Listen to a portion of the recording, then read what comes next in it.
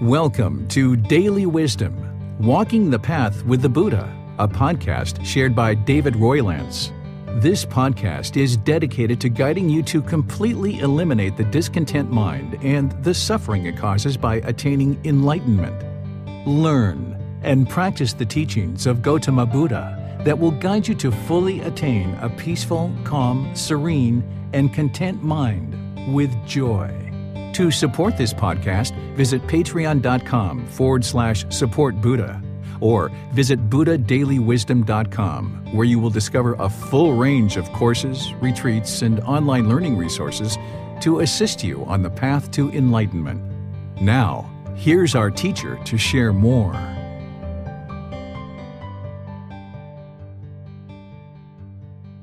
Sawadee. Hello and welcome to Daily Wisdom Walking the Path with the Buddha. Today is our group learning program where we're studying chapter 15 in this book, Developing a Life Practice The Path That Leads to Enlightenment. This chapter 15 is titled True Love Love Without Attachment. This is such an important topic as it relates to the path to enlightenment because as long as we have craving, desire, attachment in our relationships, we're going to be sabotaging them. We're going to be crushing them. And it makes it very difficult to have wholesome relationships or successful relationships, fulfilling relationships when we're sabotaging and crushing our relationships. Oftentimes, I hear in some parts of the Buddhist world that people think that you can't have love and actually attain enlightenment, which is 100% false. There's nothing but love as part of this path to enlightenment, but oftentimes we mistakenly describe craving, desire, attachment as love. The unenlightened mind is misunderstanding craving, desire, attachment as love. And as long as we misunderstand what love is, then we're going to be sabotaging and crushing our relationships. So, what we're going to be doing in today's class is describing what true love is to understand how to love without attachment. Because when we love without attachment, this is unconditional love. And when we can have unconditional love in our relationships, the love can actually be permanent. But as long as we are misunderstanding craving, desire, attachment as love, then this is what someone might call conditional love. This is what's going to sabotage the relationships, and that is not permanent. That's why we have struggled in relationships one after another after another, whether it's a boyfriend, girlfriend, life partner, our children, our boss, our coworkers, our friends, our family, our neighbors. If you've been having challenges in relationships throughout your life, it's probably because you're having craving, desire, attachment in your relationships and they're being sabotaged, they're being smothered, they're being crushed. And it's not until you learn what true love is and you practice love without attachment that you'll be able to have fulfilling, long lasting, and successful relationships with everyone around you. So I'm very pleased that you guys all decided to join today because this is such an important topic for us, particularly as household practitioners, because we have so many relationships involved in our life. We oftentimes have life partners, we have children, we have bosses, we have coworkers, we have lots of friends, we have neighbors, we have different people around us that we interact with on an ongoing basis. And when we understand how to love without attachment, we can have very rewarding and very successful relationships. So, you learning this is very important and very vital to your path to enlightenment because ultimately, if we're practicing this eightfold path that I've shared in the past, which is the path to enlightenment, and we're learning things like right view, but mainly right intention, right speech, right action, and all the others, well, as long as we have craving, desire, attachment in our relationships, it makes it very difficult to have right intention, right speech, and right actions. When we find that we have craving, desire, attachment in our relationships, the mind can arise frustration and anger very quickly and very easily. And then we really struggle to have something like right speech. And then we end up damaging the relationship due to our anger arising in the mind. Where when we learn how to love without attachment and our relationships don't have this craving, desire, attachment, then it becomes so easy and effortless to practice something like right speech in our relationships because oftentimes the people that are closest to us those are the ones that we end up hurting the most with our intention, speech, and actions because they're the ones that are closest to the fire, so to speak. So when we put out that fire of craving, desire, attachment, and we love without attachment, now we can speak in ways that are very loving and very kind through all people. And we don't cause harm in the relationships around us and that's why we can have these very fulfilling relationships. So i'm going to explain to you guys today what true love is but before we do that we're going to actually just kind of remind you about something related to the four noble truths because in order to understand the teaching of true love i need to just remind you of the second noble truth and the third noble truth of course, all Four Noble Truths are very important, and those are needed in order for us to attain enlightenment. But in terms of what we're going to be discussing today around true love, I would like to just remind you guys of the second and third noble truth. And if somebody is joining us today that hasn't been part of these classes, if this is the first class that you've been in with me, you may not have been exposed to the way that I teach the Four Noble Truths. So this can be a good introduction for you. And we'll kind of cast this around relationships. So the goal of this path to enlightenment is to eliminate discontentedness. That's the whole goal, is to eliminate conditioned feelings such as sadness, anger, frustration, irritation, annoyance, guilt, shame, fear, boredom, loneliness, shyness, resentment, jealousy, and all these other discontent feelings that the mind struggles with and has difficulties with.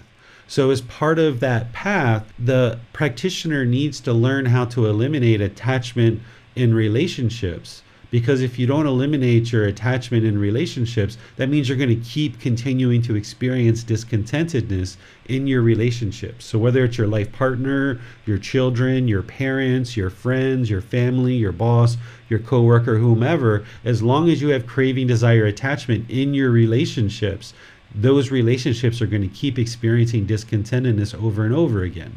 So it's important to understand the second and third noble truth because the second noble truth explains the cause of discontentedness and it explains the elimination of discontentedness. So the second noble truth is discontentedness is caused by our own craving, desire, attachments because the mind wants everything to be permanent when everything in the world is impermanent. So I give examples about this when I teach the Four Noble Truths, but let me share some examples with you along the lines of relationships so that you understand this. So discontentedness is caused by this mental longing and strong eagerness, this wanting, these expectations, this grasping, this clinging, this holding on, because the mind wants everything to be permanent or it wants everything to be its way, right? The mind wants things to be the way that it wants it. It isn't comfortable with constant change because of the universal truth of impermanence. The unenlightened mind doesn't understand this universal truth. So as things are changing, the unenlightened mind doesn't like that. So what an individual will do is try to control this relationship.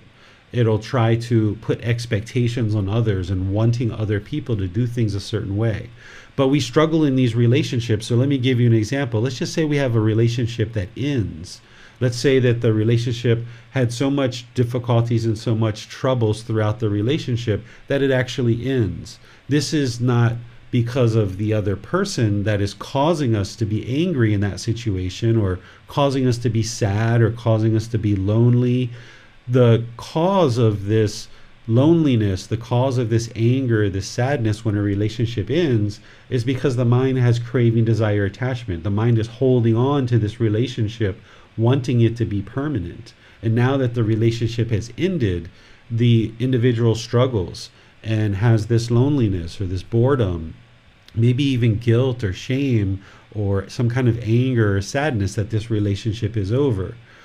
Or let's just say that there's a death and this is a relationship that you have. And then say at death, when somebody dies, the mind has grief or sorrow. While those things for an unenlightened mind seem very normal, they seem very commonplace. Like, yeah, somebody died. Shouldn't I grieve? Somebody died. Shouldn't I feel sad?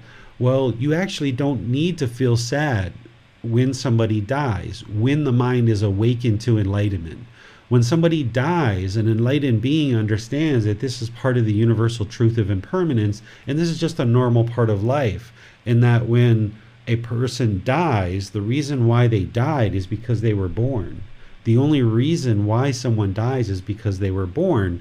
The reason why the mind grieves and has sorrow, or even sometimes even anger, or frustration at death, is because when this person dies, the mind is holding on. Your mind is holding on to whoever has died.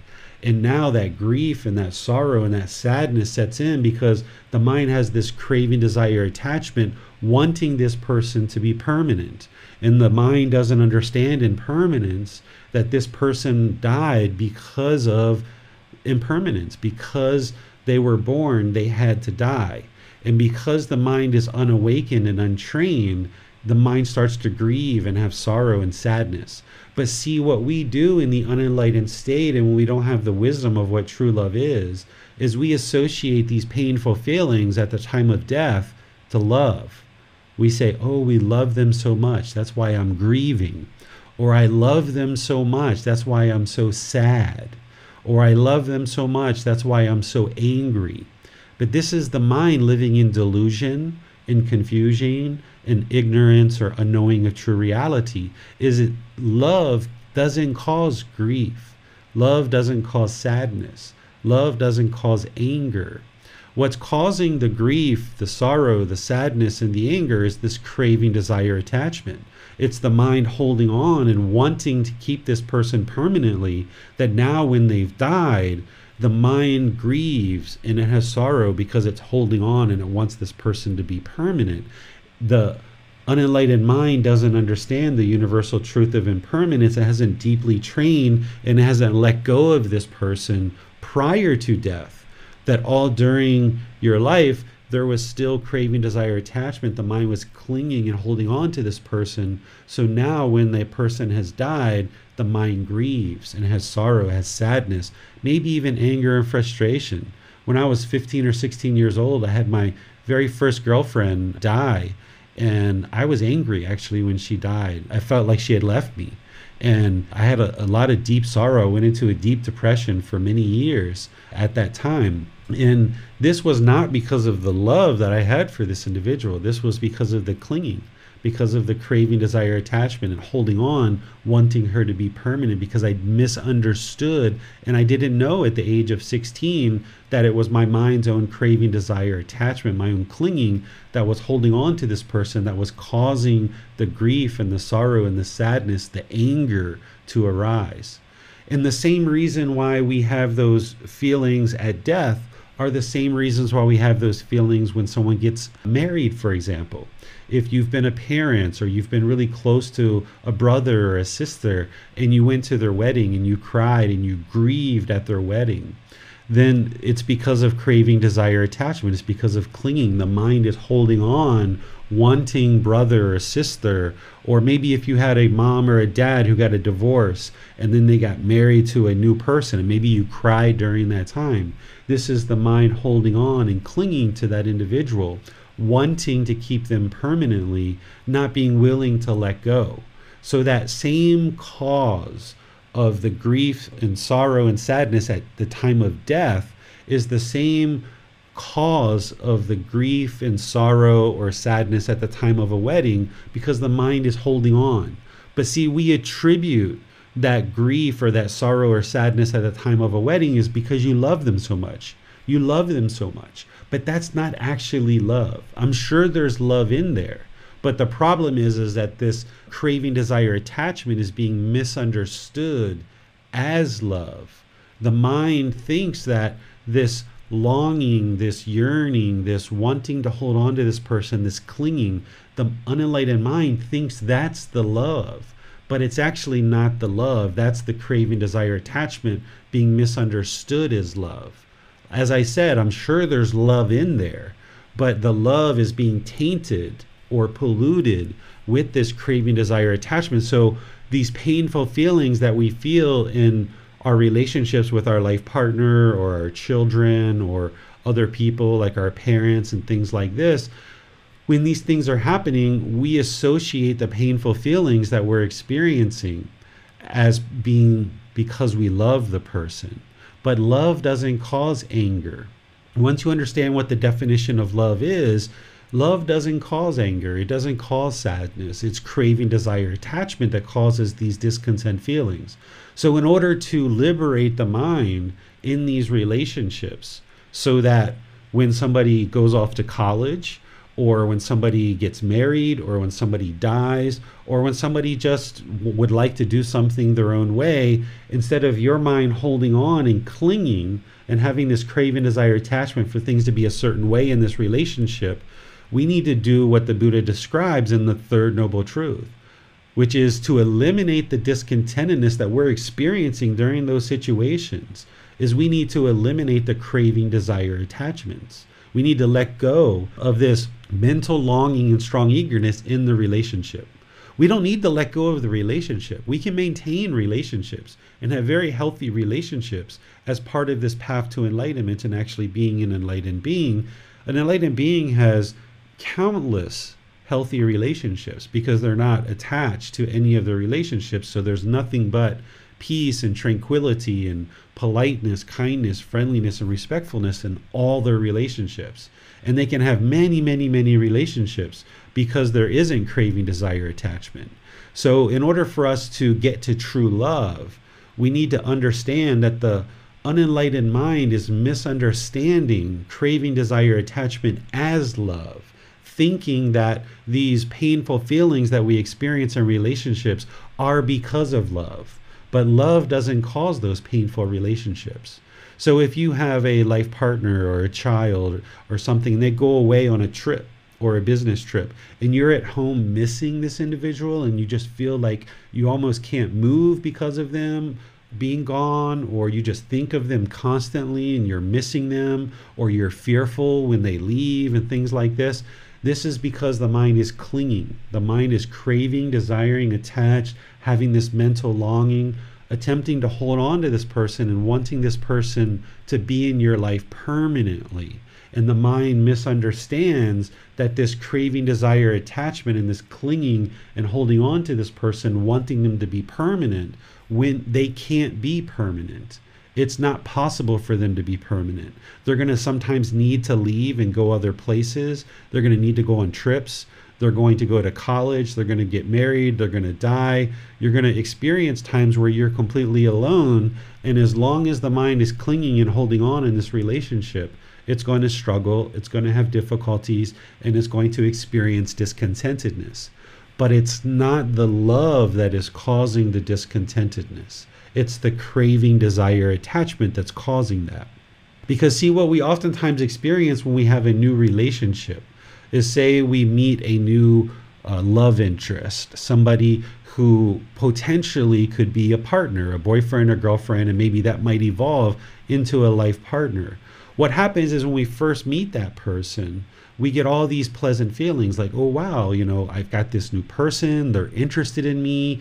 Maybe they're asking you out on dates. Maybe they're calling you and checking in on you and seeing how you're feeling. And the mind starts getting all these pleasant feelings when you're getting this contact with this new person. And at the beginning of a relationship like that, oftentimes everything is completely perfect the first two weeks, the first month, the first six months, even. You can experience a relationship that it just feels like everything is completely perfect in this relationship. There's so much happiness and so much thrill, so much excitement in this relationship. But somewhere along the lines, this relationship starts to struggle.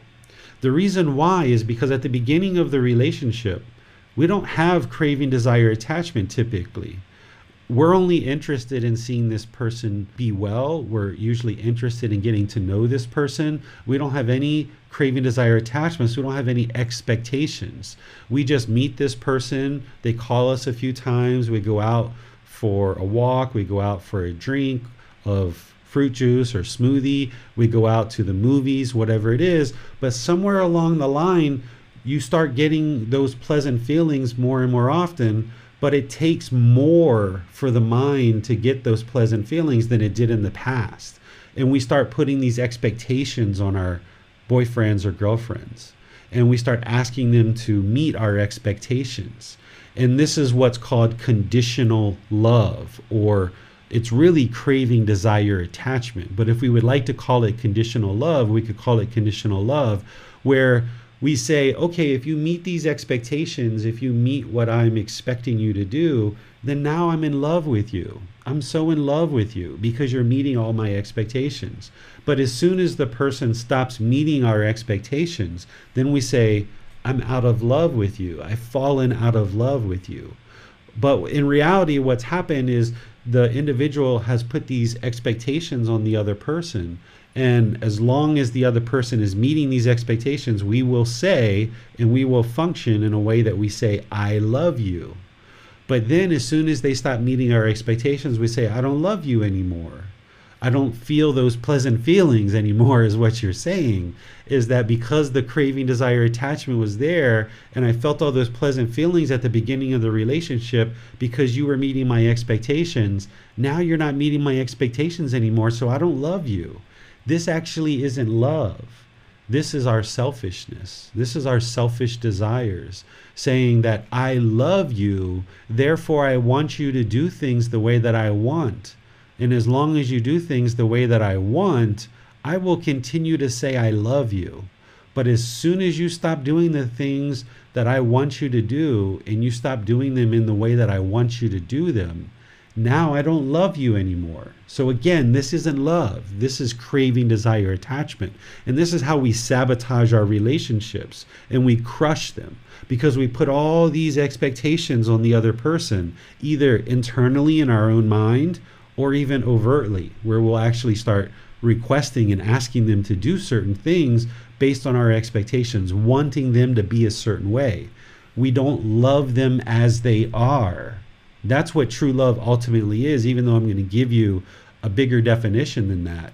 What true love really is, is to love this person as they are and not load up all these expectations on their shoulders. Because if you can love people as they are, then you can love them all the time. You don't fall in love and out of love with people. And we even use this word love in relationship to other things. We might say, Oh, I love my car or I love going to the movies. You can't love your car. Your car isn't a being, so you can't love your car. You can have craving, desire, attachment towards your car. You can have craving, desire, attachment to go to the movies, but you can't actually love a movie. You can enjoy a movie, you can like a movie, but when you understand what true love is, you actually can't love a movie. You can't love your car. You can't love a piece of chocolate cake, for example. You can have craving, desire, attachment for these things, and the mind is misunderstanding this craving, desire, attachment and calling it love. We do that frequently in the unenlightened state. But when you start understanding what true love is, you realize when you look back that what you thought love was actually was craving, desire, attachment. And as long as you're functioning through craving, desire, attachment and thinking that that's love and calling that love, you're going to continue to struggle in your relationships. So, as we move into talking about true love, it's important to understand what causes discontentedness and painful feelings is craving, desire, attachment.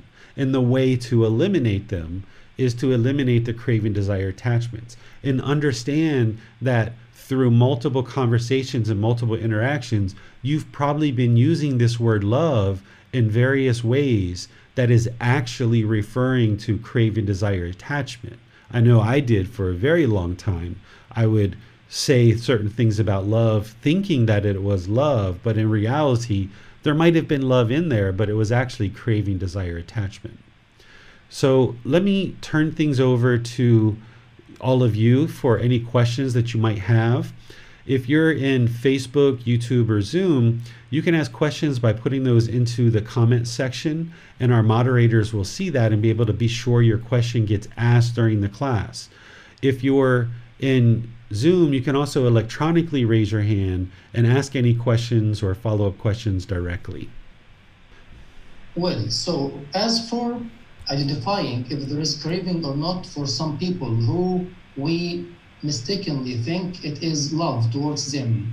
Does this mean that one needs to have a list for every single individual. We are we interact with them in daily life and try to figure out if there is attachment to those or not.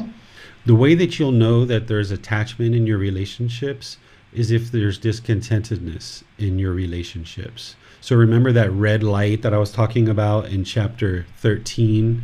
The discontentedness is the red light to alert us that there is craving, desire, attachment in any parts of our life. So if you're involved in conversations with people and you experience this happiness, this excitement, this thrill, this euphoria when you see them or when they do something for you, you feel all this conditioned pleasant feelings, then you know there's craving, desire, attachment.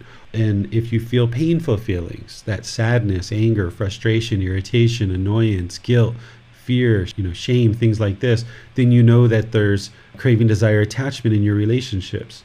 When certain people are away from you, if you miss them, or you feel lonely when they're away, that means there's craving, desire, attachment. If you feel jealousy or or resentment in your relationships, then you know that there's craving, desire, attachment there. So that's the indication that you know that there's craving, desire, attachment in certain relationships. And see, this is where your personal and professional relationships can really blossom. Because when you eliminate these conditioned feelings, where you no longer experience any anger whatsoever, or sadness, or frustration, or irritation, or annoyance in your relationships, both personally and professionally, uh, you no longer have those conditioned feelings. That's where your relationships can be completely peaceful. And the interesting thing is, is even before learning about true love or learning about this path, there's oftentimes people who have certain relationships that are very peaceful and very loving, like friends and family or certain people in your life. It's like, wow, I'm just always completely at ease around these people. But these people over here, I have so much difficulty with. And this relationship really struggles, or these two or three relationships really struggle, right? And the reason why is because in these relationships that are utterly peaceful, you don't have craving, desire, attachment, and they probably don't have craving, desire, attachment to you, perhaps. But these other relationships over here that where you really struggle and you really have difficulties, that's because of the craving, desire, attachment. So when we eliminate the craving, desire, attachment and we get to true love, now we can have peaceful relationships. Our relationships can be at ease with everybody.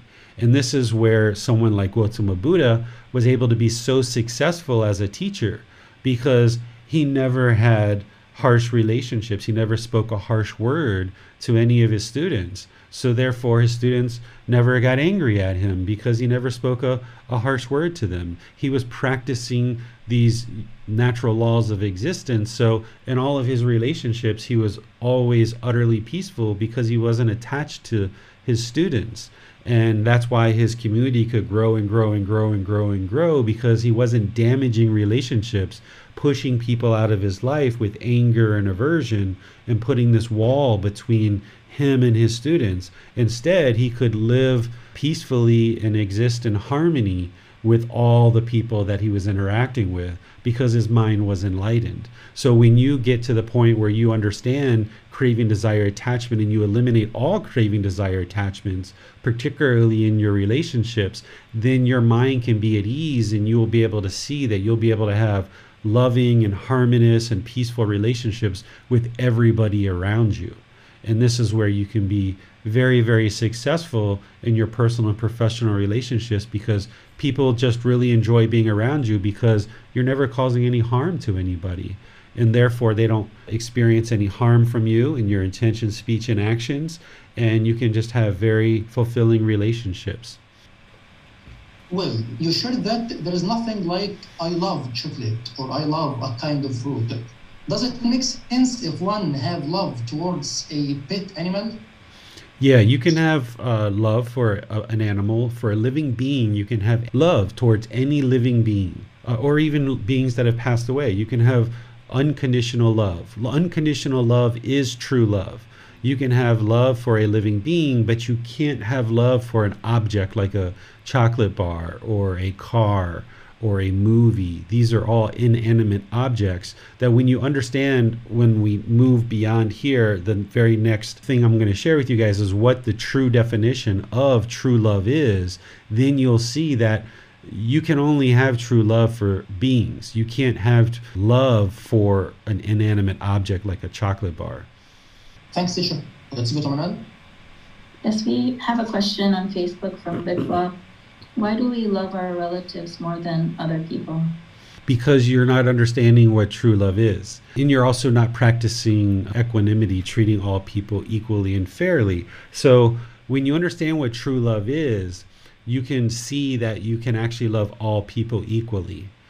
What we think of as love in the unenlightened state is this craving, desire, attachment that craving desire attachment that burning desire to be close to our family and take care of our family and have everything exactly correct for our family and wanting them to be a certain way this is all craving desire attachment. Masquerading as love.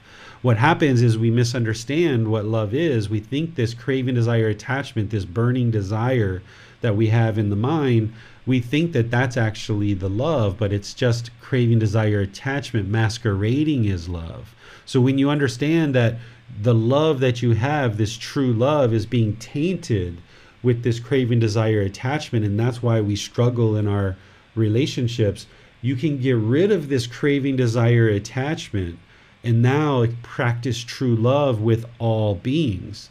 And that's what you can get to is you can get to the point where you love your mom who's giving you birth in this life just as much as you love uh, your neighbor when you understand what true love is, you can practice true love with your mom and you can practice true love with your neighbor or even somebody you've never met before. When you walk down the street, you can have uh, love for someone you've never even met before.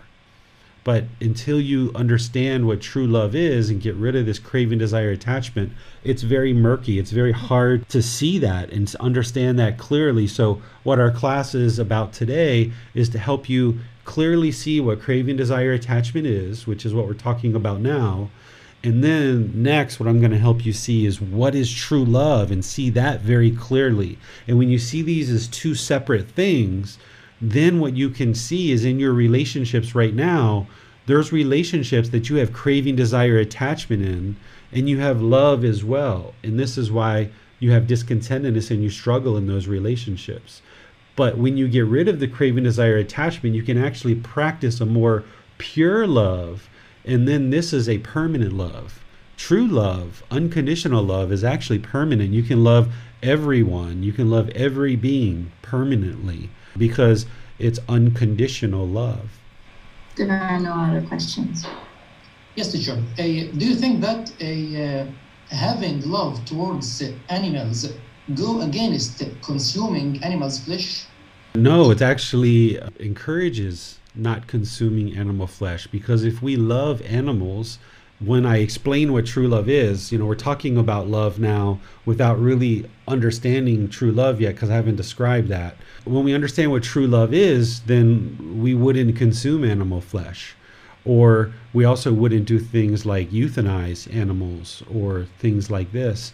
So once we understand what craving, desire, attachment is, and that that's what's causing the painful feelings, and we're kind of calling craving, desire, attachment love over here. That's what we've been doing throughout our life so far in the unenlightened state. But once we understand what true love is and we start deeply connecting with that, clearly being able to see that, and then learning how to practice that in our relationships, now it's going to completely improve the way that we make decisions. We're not going to be interested in doing things like harming these other beings through consuming them or through euthanizing them or through doing all the other things that we do in our relationships to harm other beings.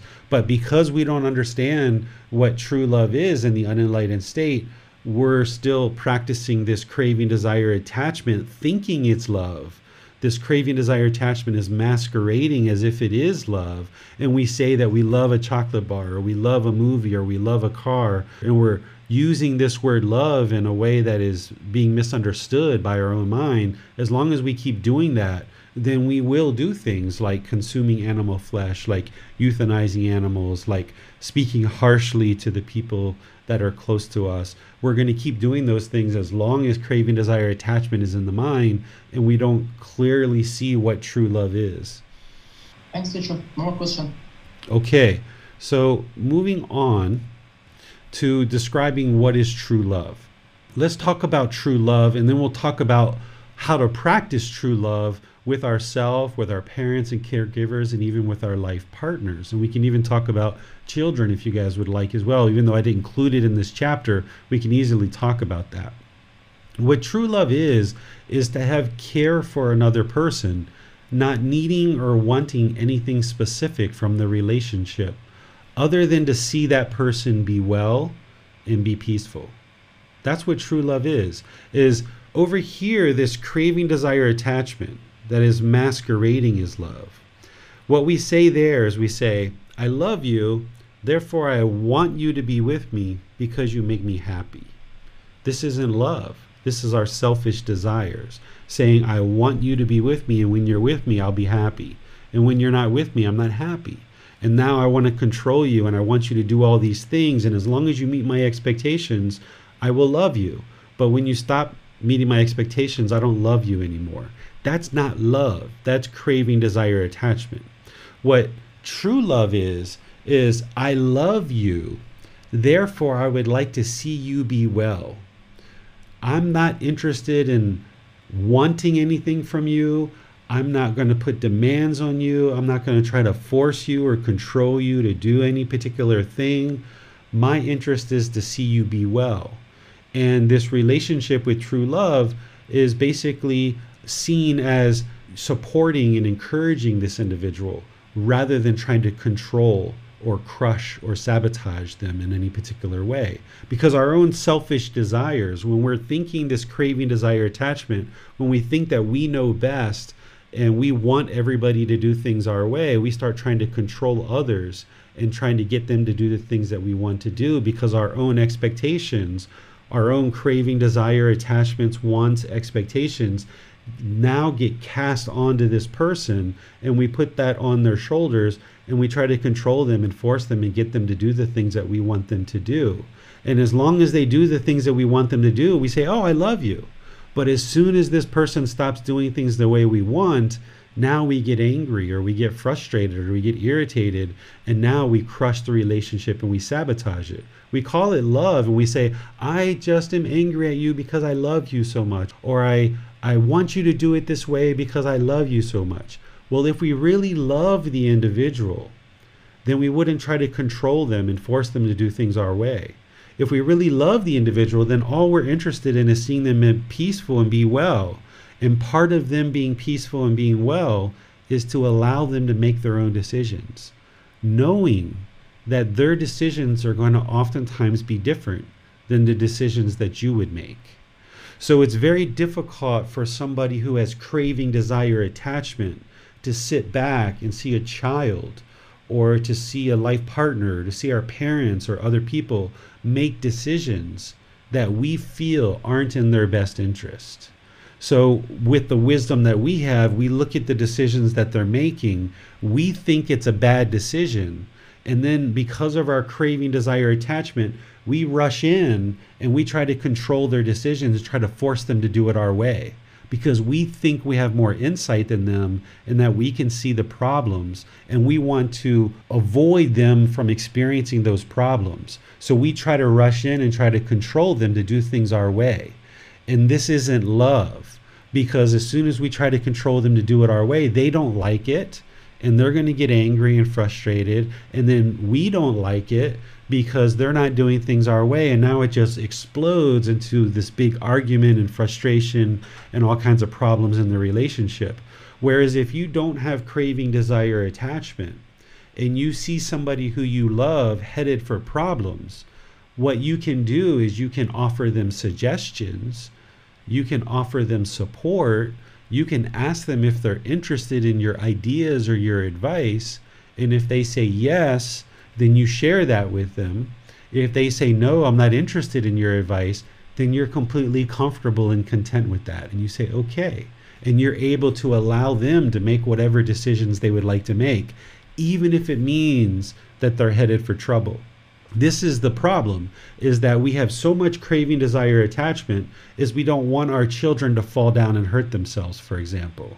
Or we aren't interested in seeing our life partner that's headed for danger and we feel like they're headed for danger. We want to restrain them and hold them back because we're so attached to them that if we see them struggle it causes us painful feelings it's not the love that's causing those painful feelings. It's our craving, desire, attachment, wanting things to be a certain way, expecting things to be a certain way. And because our mind is struggling with seeing our children walk into a problem situation and we're not comfortable with that, or we see our parents or our life partner walking into a troubled situation, we're not comfortable with that and we want to rush in and kind of control their decision making.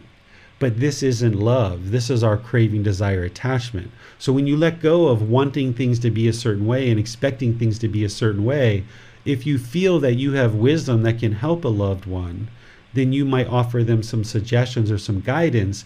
And when it comes from that place, your partner or your children or your parents will be more willing to listen to your advice and listen to your guidance because it's a suggestion, it's advice, it's guidance, and you've asked them are you interested in this? Right now, if we're talking about a five year old or a six year old, of course, we need to have those children do things a certain way. But we're talking about adult children or children that are close to adulthood. We need to start letting go and training them and helping them to be able to make wiser and wiser decisions. But as long as we are struggling with our own craving, desire, attachments, not feeling comfortable with seeing our people who we love struggle, we're going to try to rush in and control this relationship, and it might actually sabotage it and crush it because we're not comfortable with our own painful feelings. And we think that the way to solve these painful feelings is to get this person to do things our way. And we think if this person does things our way, then that will avoid the painful feelings that we're going to experience. But it doesn't what the real problem there is is not that our partner isn't doing things our way. The real problem isn't that our parents aren't doing things the way we want them to do them. The problem is is that our mind is having craving, desire, attachment to get that person to do things our way. Because if we practice this true love where we have this genuine interest in seeing them be well and we just would like to support them and encourage them, then we can offer them advice, we can offer them guidance, but we wouldn't try to control their decisions. We would understand that them making decisions and experiencing the results of those decisions is part of the learning process. Whether the results of those decisions are good or bad, they have to experience the results of those decisions. Us rushing in to try to control their decisions is going to be seen by that person as part of the problem they're going to look at us as the problem. Because if they're not practicing right view, when we try to control them and force them to do things our way, then they're going to look at us as trying to control them and force them to do things, and they're going to dig their heels in and not want to do those things our way. So the problem isn't that our friends and family and loved ones are not willing to do things our way. The problem is, is that our mind is craving for them to do things our way.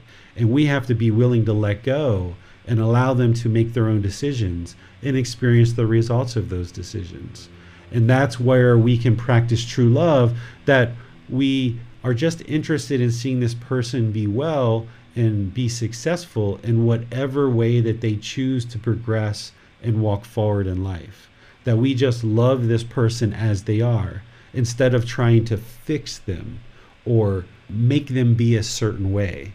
But instead, we can reside peaceful, just allowing them to make their own decisions. If they say, Hey, I would like to go on a holiday for two weeks by myself. Okay, wonderful. Uh, when were you thinking of doing this? And how were you planning to do it? Right? Instead of, What? You're leaving for two weeks?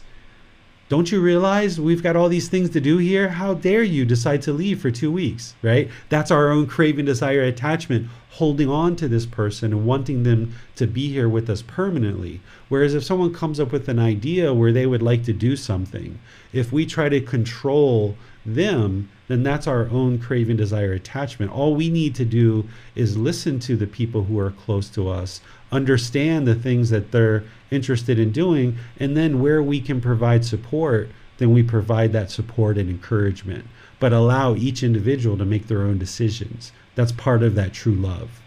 So let me pause here and see what questions you guys have around what true love is, because the more clear you guys see what true love is, the more you'll be able to actually practice it. Well, so as for this definition, it's clear that true love is based on just and interest to see others living in a, peaceful way, living in a good way. So this doesn't include any happiness or excitement in this relationship.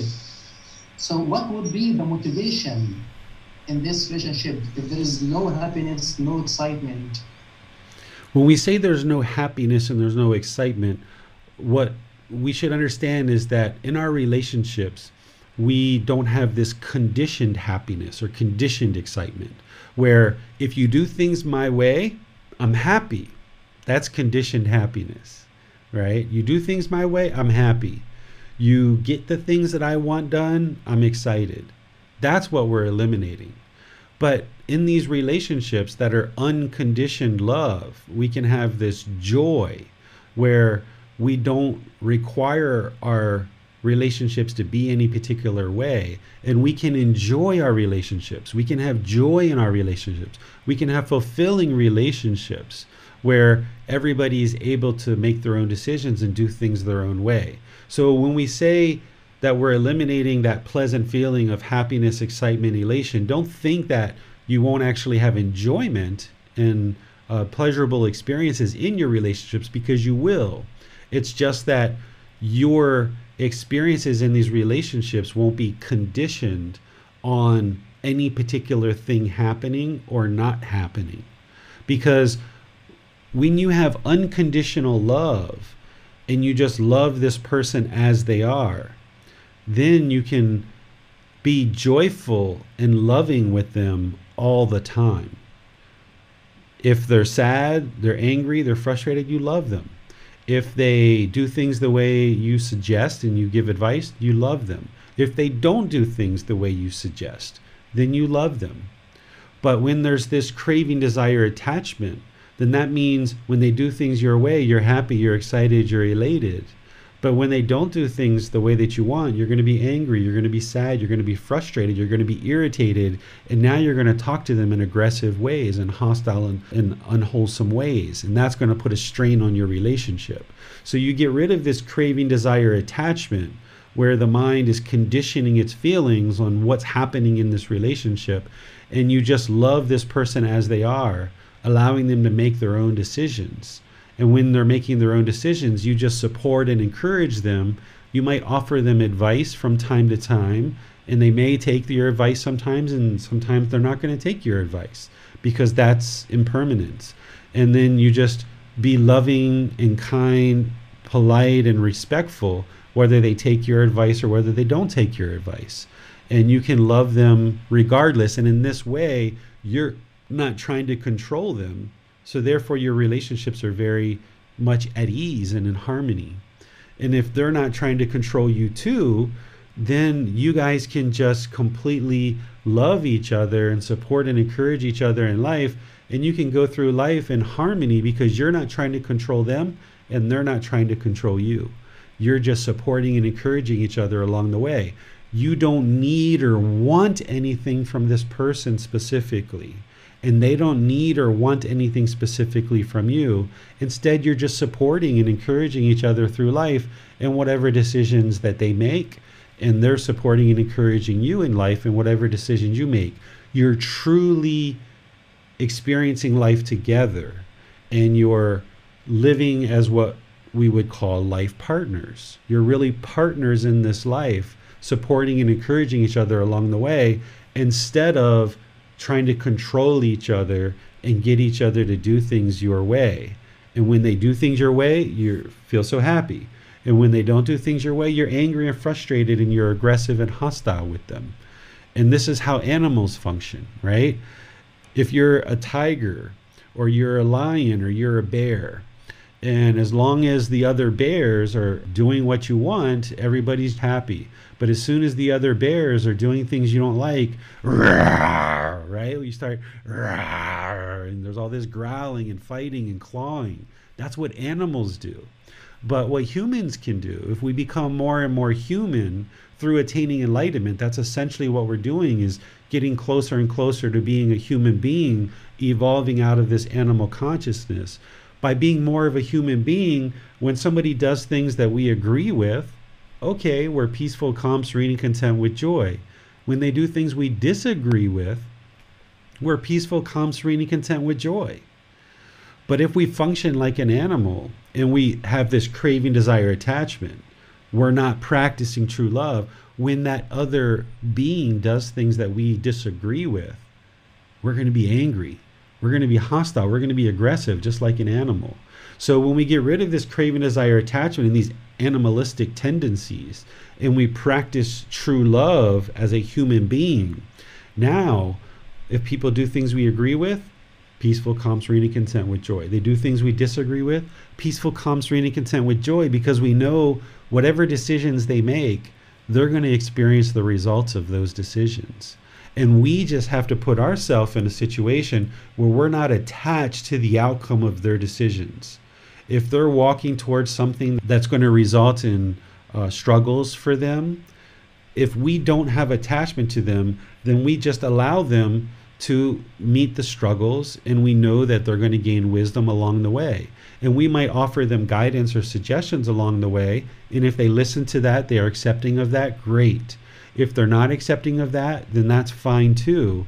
Whatever decisions they make is their decision. So this relationship becomes instead of both of us pulling in opposite directions and trying to pull the other person in the direction that we're going in Instead, we just realize that we're unattached.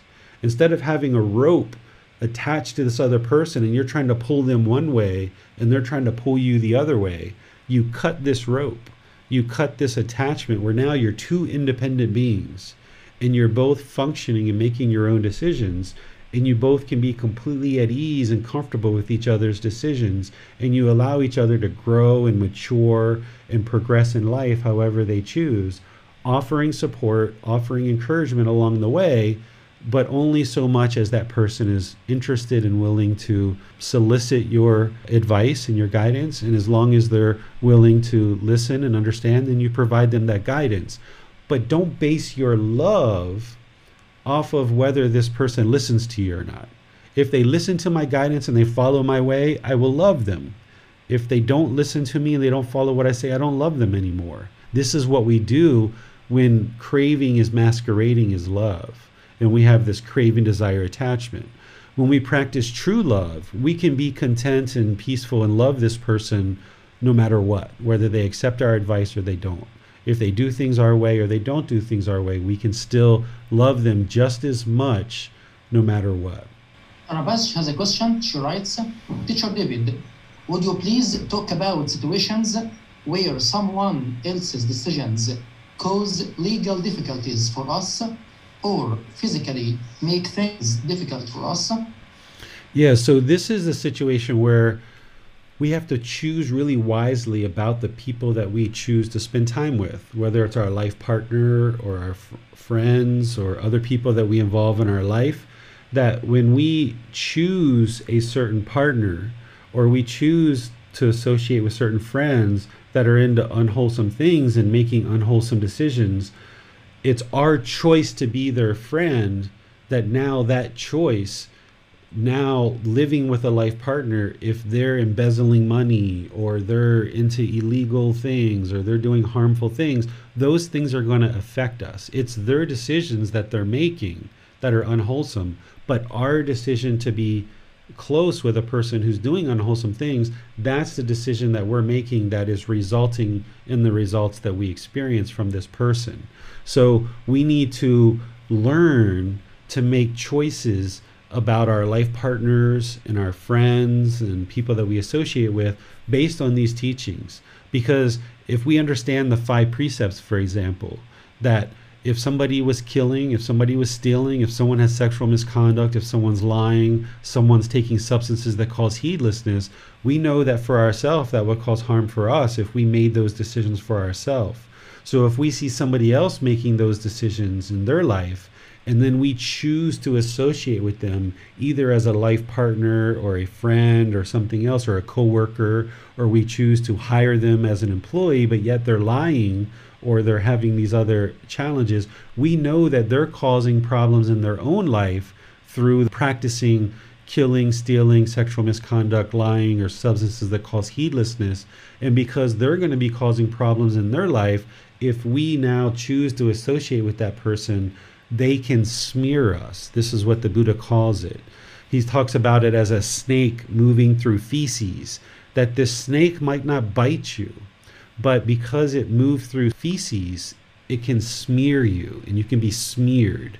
So if we have people who, let's just say, are into uh, selling drugs, for example, and we go out in a car with them, maybe the police pull us over for a speeding, but yet they slip some cocaine under our chair uh, in, the car, and now we get arrested for having cocaine when it wasn't even our cocaine. But we knew all along that this person was selling drugs, yet we associated with them, right?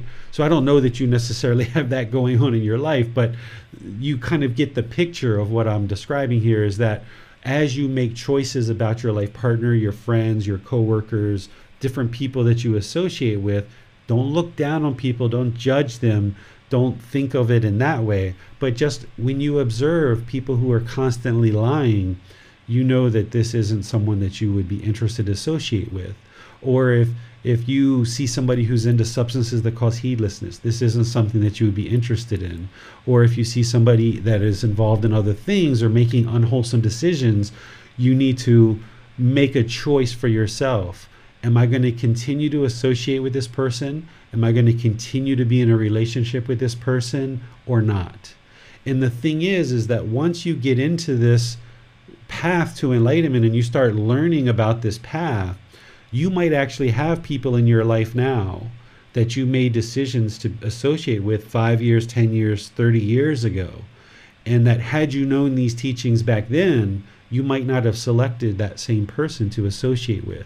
So part of cleaning up your karma and getting away from the unwholesomeness might mean that you need to, you know, walk away from some relationships that you currently have that you realize that now that you are learning these teachings, you realize that you're in some unwholesome relationships and you might decide like, okay, I need to just walk away and, and move on and beyond this relationship because it just keeps having problems over and over and over again. And no matter how much you choose to practice these teachings, if you're with a life partner, for example, who's using drugs and alcohol, or who is uh, abusive, or who is having sexual misconduct, or who's lying, for example, no matter how much you practice these teachings, you choosing to be associating with that person as a life partner is going to continue to impact you and continue to affect you. So, oftentimes, as people move into this path and start learning about it, we might choose to move beyond certain relationships that we're currently in. And then, when we cultivate new relationships, we will cultivate new relationships based on these teachings, and we will ensure that the people we involve in our life are making wholesome decisions because we're not interested in being smeared by the snake going through feces. So you have to look at your life and look at the different relationships that you have and decide, you know, is this a relationship that you feel that you would like to continue to invest in? And is this someone who is making some wise decisions and it's wise for you to be their friend? Or is this a relationship that you would be better off moving on and just stepping away from? And this is part of cleaning up your karma cleaning up the decisions you've made in the past. Well, so practicing true love in this way, don't you think that if we are practicing true love towards some individuals who doesn't have true love towards us, then our love towards them will burn out after some time? So that's what I usually talk about when I get to life partners, but we can just talk about all of this at one time if you like. Is if you're going to have a life partner, it would be very wise to have a life partner that is learning and practicing these same teachings. Because as long as you're understanding what true love is and you're practicing true love, if they're practicing craving, desire, attachment, and they're thinking that that's love, you guys are going to be in conflict with each other all the time. Because for them, they're going to be trying to hold on and they're going to be trying to control you and they're going to be putting their expectations on you. And you're going to be trying to function in a way that just supports them and encourages them and interested in seeing them be well. And when they go away on a business trip and they come back, they're going to like, honey, did you miss me? No, I didn't miss you. And they're going to think, what? You don't love me? Why, why, why didn't you miss me? And it's like, oh, I was just peaceful here by myself for two weeks. Yeah, like, of course, I love you. It's wonderful that you're here and we can spend time together. But while you were gone, I, I didn't miss you. And if their mind is misunderstanding what true love is and they're associating craving, desire, attachment and this missing you with love, then as you guys have conversations, they're just going to completely misunderstand what you're talking about because they're thinking of craving, desire, attachment, and that you should be sad when they're gone. You should miss them when they're gone. You should be lonely when they're gone. And because they're thinking of craving, desire, attachment is what love is.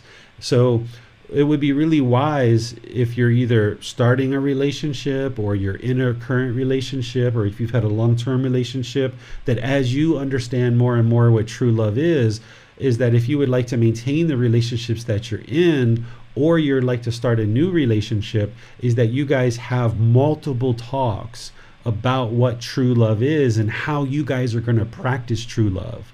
Because if one person's definition of what love is is one way and another person's understanding of what love is another way then there's a conflict where you guys are describing love and thinking about love in completely two different ways. So that means it's going to really strain on the relationship. So oftentimes once a practitioner understands what true love is and you start learning how to practice that more and more then you're going to need to sit down with your current partners if you're in any current relationships or if you're looking to be in a new relationship going forward, then you're going to need to have multiple conversations in all of these relationships so that people understand what true love is. And if they're willing and open to learning that, then those conversations can go really well and they can be really fulfilling. And you guys can really create a wonderful relationship for yourself. But if this other person isn't interested in understanding what true love is, and they continue to practice craving, desire, attachment, masquerading as love, then you guys are going to just keep struggling and struggling and struggling. So even my wife, who's Thai, and she's been on this path for 25 years in a more dedicated way, but really her entire life, because she was born Buddhist, is I had to sit down with her on multiple occasions and help her understand what true love is and show her how to practice true love with me and show her how to practice true love with her son because she didn't understand what true love was. Uh, she didn't think when I first started talking to her, she didn't think you could have love and be enlightened. She thought that you can't have love and be enlightened and you can't have love. She was describing love as attachment. So it was multiple conversations that helped her to be able to see what true love is and how to practice that with me and then how to practice it with her son. And now everything's wonderful because she's practicing true love. I'm practicing true love. Her son's practicing true love. And there's lots of harmony in our family and in our household. But when any member of our household didn't understand what that true love was, and one of us might have been trying to control or put expectations on the other, that's where the difficulties really set in and there's all this discontentedness. So it's important that we have a common definition of what true love is amongst the people that we reside with the closest, particularly our life partners, our children, perhaps our parents, depending on how close they are, but particularly people in the same household. We need to understand what true love is. And sometimes that can be really challenging in environments where people aren't Buddhist, for example. So here, my wife is a Buddhist, so it was very easy for me to spend time with her, even though sometimes had to go around her ego a little bit and try to teach her and help her understand. But nonetheless, we had some really good conversations along the way that helped her understand what true love is because it would be a real struggle if one person thinks of love in one way and another person thinks of love in another way. So this can be part of establishing a really healthy relationship, having conversations around what love is, and it can also be a way of taking an existing relationship and bringing it up to a higher level. That if you're not currently practicing true love with your partner, the more you understand what true love is, you can have these multiple conversations and bring it up to a higher level where now you guys can be practicing true love together and be liberated from this constant discontentedness that you're experiencing in your relationships. Because as long as you're not practicing true love, as long as you have love masquerading in having this craving desire attachment, you're going to continue to have discontentedness. So if you have arguments or if you have heated disagreements or you get frustrated or irritated in your relationships, there's craving, desire, attachment there. You're not practicing true love yet. There's probably true love in there, I'm sure, but it's being tainted with this craving, desire, attachment. So you've got to get that out of there, both for you and for the other person. They need to do the work to get that out of there too, so that you can bring this relationship to more peacefulness and more harmony. Uh, let's go to Morel. Teacher David, question. Would true love um, um, cross all barriers of relationship? Meaning, if there was a husband and wife or partner relationship, would that, um, uh, would true love translate um, into romantic love? Or if it's between a mother and a child, would true love sort of um, override all sorts of um, relationship in the that's involved in that love, uh, mother and child, uh, partner to partner, etc. Yes, true love is uh, where we can love all beings equally, because we can love our partner, our life partner, and we can love our children, we can love our parents, but we can also love our neighbors, our coworkers, and our friends, because what true love is is this interest in seeing others be well, not needing or wanting anything specific for them, and allowing them to be their own person, loving them as they are. This romantic love that people talk about, this is like the passion. This is like the part where we have sexual relations, right? This is what romantic love is is that if we're romantically in love with someone, it means that we're having sexual intercourse with this person. The sexual intercourse part is something we do because there is love, but it's also because of this craving, desire, attachment. We have this desire to please our partner, perhaps, and we have a desire to please our own being too. We're looking for certain pleasant feelings. That's where that sexual intercourse, the desire for sensual pleasures, comes in. With true love, we don't necessarily want that from that person, right? When we get to the point where we're actually practicing true love, we aren't aspiring for sexual intercourse. So that's why I can love you, Manal. I can love you, Jan. I can love you, Donnie. I can love uh, you, Bassam, because I have a genuine interest in seeing you guys be well. I, I don't want anything from you guys. I don't want anything from my neighbor. I don't want anything from the person sitting in the traffic light next to me. I don't want anything from the person who cut me off in traffic. I can just love them all because I just would like to see them all be well. I don't need anything from them. I don't want anything from you. I don't want anything from these other people. I just am generally interested in seeing all of them be well. This thing that we call romantic love is really just that we have this craving, desire, attachment for sexual intercourse and sensual desires, pleasing them physically, and we are looking for physical pleasure ourselves. So we call it romantic love, but I wouldn't really call that love. There's love in there, I'm sure, but it's love with craving, desire, attachment. I can share that my wife and I didn't get to true love until we stopped having sexual intercourse. That's a decision that we both made as part of our practice on this path to enlightenment is that we both were interested in getting to enlightenment. So we came to the common understanding that we were going to eliminate sexual intercourse from our relationship. As long as we had that going on and other things as well, it became very difficult to be able to see true love and be able to practice true love. Because if somebody wants sexual intercourse and we want this sensual desire, we want this sensual pleasure, and the other person won't give it to us, now we have painful feelings. We're like, oh, this person doesn't love me. No, they're just not interested in having sex. So, as long as we have the craving, desire, attachment for sexual intercourse, which we call romantic love, then we can get hurt and we can have painful feelings because we might have this craving for intimacy, but the other person doesn't. And when the other person doesn't want to have intimacy, we can have painful feelings because our mind isn't comfortable with impermanence. That this person isn't going to be permanently wanting intimacy at the same time that we want intimacy. And we read that in the unenlightened mind as they don't love me because they don't want intimacy with me.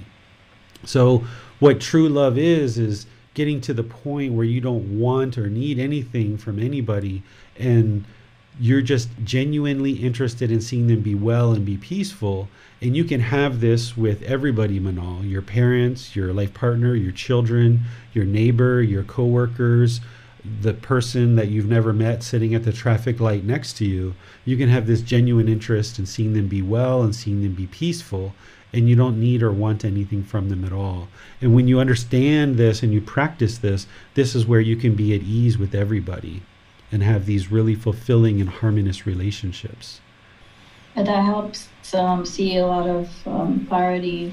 Um, I think that when we label relationships um, with certain, um, you know, descriptions like romantic love or nurtured love, uh, which we one would have towards a, a dog, um, or something else between uh, parent and child. Uh, all the different relationships that one can have in one's lifetime. Um, I think that those labels are just um, representing cravings and attachments at the end. I think that's mm-hmm. one of the points that I see today. So thank you for that. Yes, you're 100% true there, uh, Manal. There's only one type of love, and it's true love. What we do is we try to define love in other ways, but like you said, it's just craving, desire, attachments masquerading as love. You didn't say it that way, but I will. But this romantic love or this love to our children, you know, these different flavors of love is really just different craving, desire, attachment. There's only one true love. We can have love for our dogs, for our cats, for our friends, for our family, for our life partners, for all of these people when we understand that true love is just this interest in seeing others be well and others be peaceful. And in that way, you can love everybody before you even meet them. That's why you can meet a brand new person and you can just be like, oh, hi, how are you? So nice to meet you. Lovely to meet you here. What's your name? Oh, Barbara. Oh, Barbara. I've heard a lot about you. You know, you can just love somebody without having ever met them. If your only interest is to see this person be well and be peaceful, and you don't want anything from them whatsoever, you can love someone without ever even having met them. And this is where you can just view the whole world as your family and you just love everybody, whether you've met them or you haven't met them, because we don't want anything from them. As soon as we start wanting something from somebody, that's the craving, desire, attachment. And we're not going to constantly, permanently get our wants fulfilled. And because our wants aren't going to be fulfilled permanently, that means we're going to experience painful feelings in this relationship. So as soon as we have wants in this relationship, it's going to produce painful feelings. So when we eliminate the wants, which is eliminating the craving, desire, attachment, and our only interest is to see this person be well and be peaceful, now we don't experience any discontentedness whatsoever. My wife comes and says, Hey, I'm going to America for three months. Oh, okay. So you need me to take care of son and be here for a while? Yeah, okay, well, uh, what do we need to do to make this happen for you? Or, you know, I would like to take three days off from work, or I'd like to take three weeks off of work. Oh, okay, thanks for letting me know. Uh, is there anything you need me to do? Nope, I got it covered. Okay, great, right? Instead of what? You're taking three weeks off, you know, what about you paying the bills? What about you doing this? What about you doing that? You know, as soon as we start wanting something from somebody, once they tell us their decisions, we're not going to always agree with their decisions because we want something from them. So when we eliminate the wants, the expectations, the craving, the clinging, now we can just have a genuine interest in seeing this person be well and be peaceful. And we can love everybody, every single person, and just have such fulfilling and harmonious relationships. Those are all the questions that I see right now. Okay, so let's talk about love oneself. The next thing is now that we understand what true love is as it relates to other people, that we have this genuine interest in seeing others be well and be peaceful and not putting all these wants and expectations on others, now we need to understand how to love ourselves. Because oftentimes we walk around and we don't love ourselves. Even though we know there is no self, right? There's this non self, there is no self. What we're talking about is this being, this being who you are right now. Not only do you need to learn how to practice true love towards others. You need to learn how to practice true love towards yourself, this being that we call Jan or Donnie or David or Manal or Bassam or Nick. We need to learn how to practice true love towards this being too.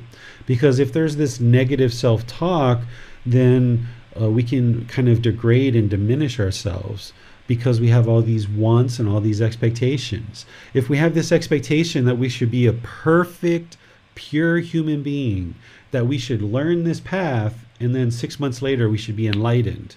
And we have these expectations of ourselves now when we slip up and we're not practicing right speech now we're degrading ourselves we're talking negative to ourselves and we look down on ourselves and we disparage ourselves we have this negative self-talk and then that erodes our confidence and we have difficulties in the world. Or if we have this expectation this craving this desire this want to meditate three times a day. And then we don't meditate three times a day because it's impossible to permanently meditate for three times a day. That's impossible.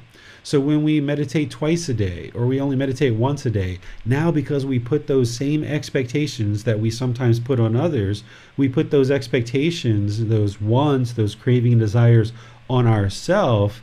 Now we have this difficult relationship with ourself we start degrading ourselves, we start diminishing ourselves, we lo- start looking down on ourselves, and this causes a lot of difficulties in our relationships uh, with ourselves because now these same expectations, the same controlling nature that we have towards others, we're trying to do that with ourselves, and we're not meeting our own expectations.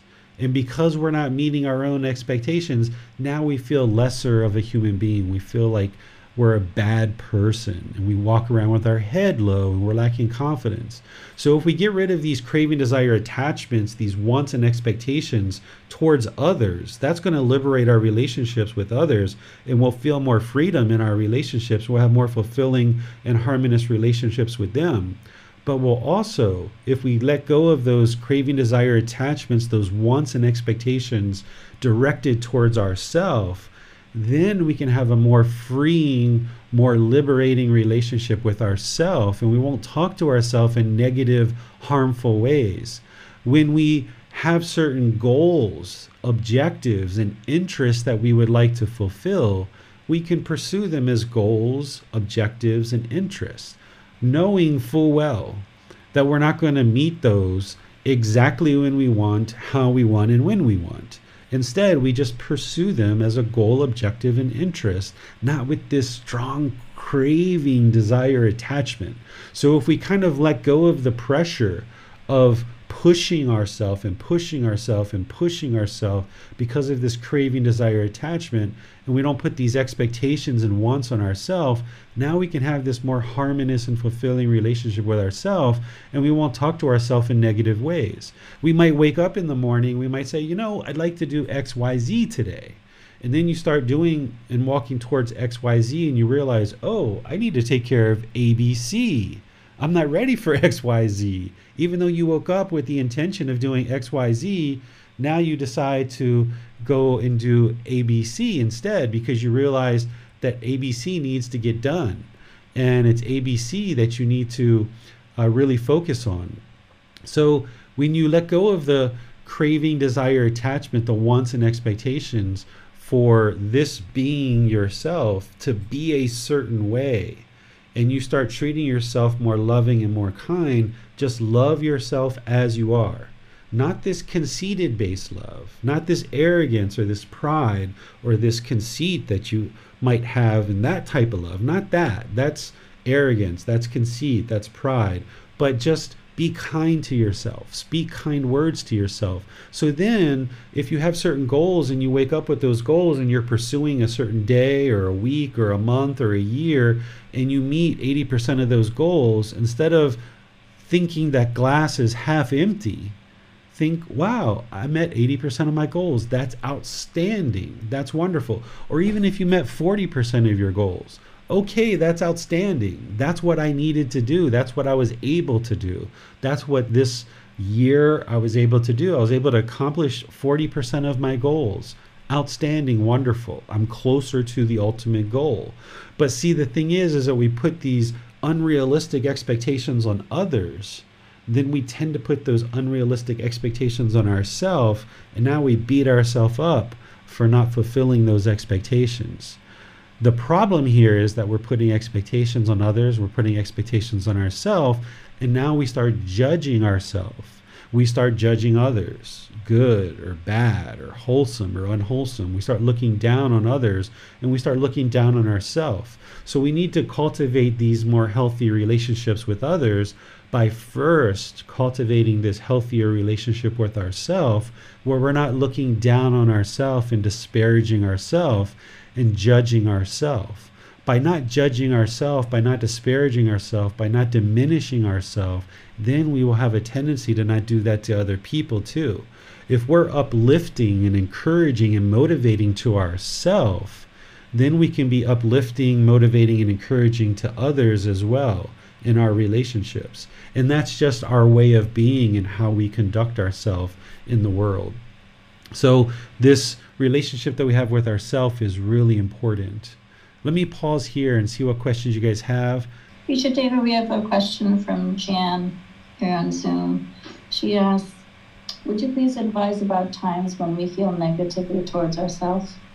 Yeah, look at what it is that's causing that negativity. There's going to be some craving, desire, attachments there. There's going to be this judging, this measuring and comparing this wanting, this craving, this yearning, and dissecting that and stripping it away and seeing exactly what that is is, is really helpful.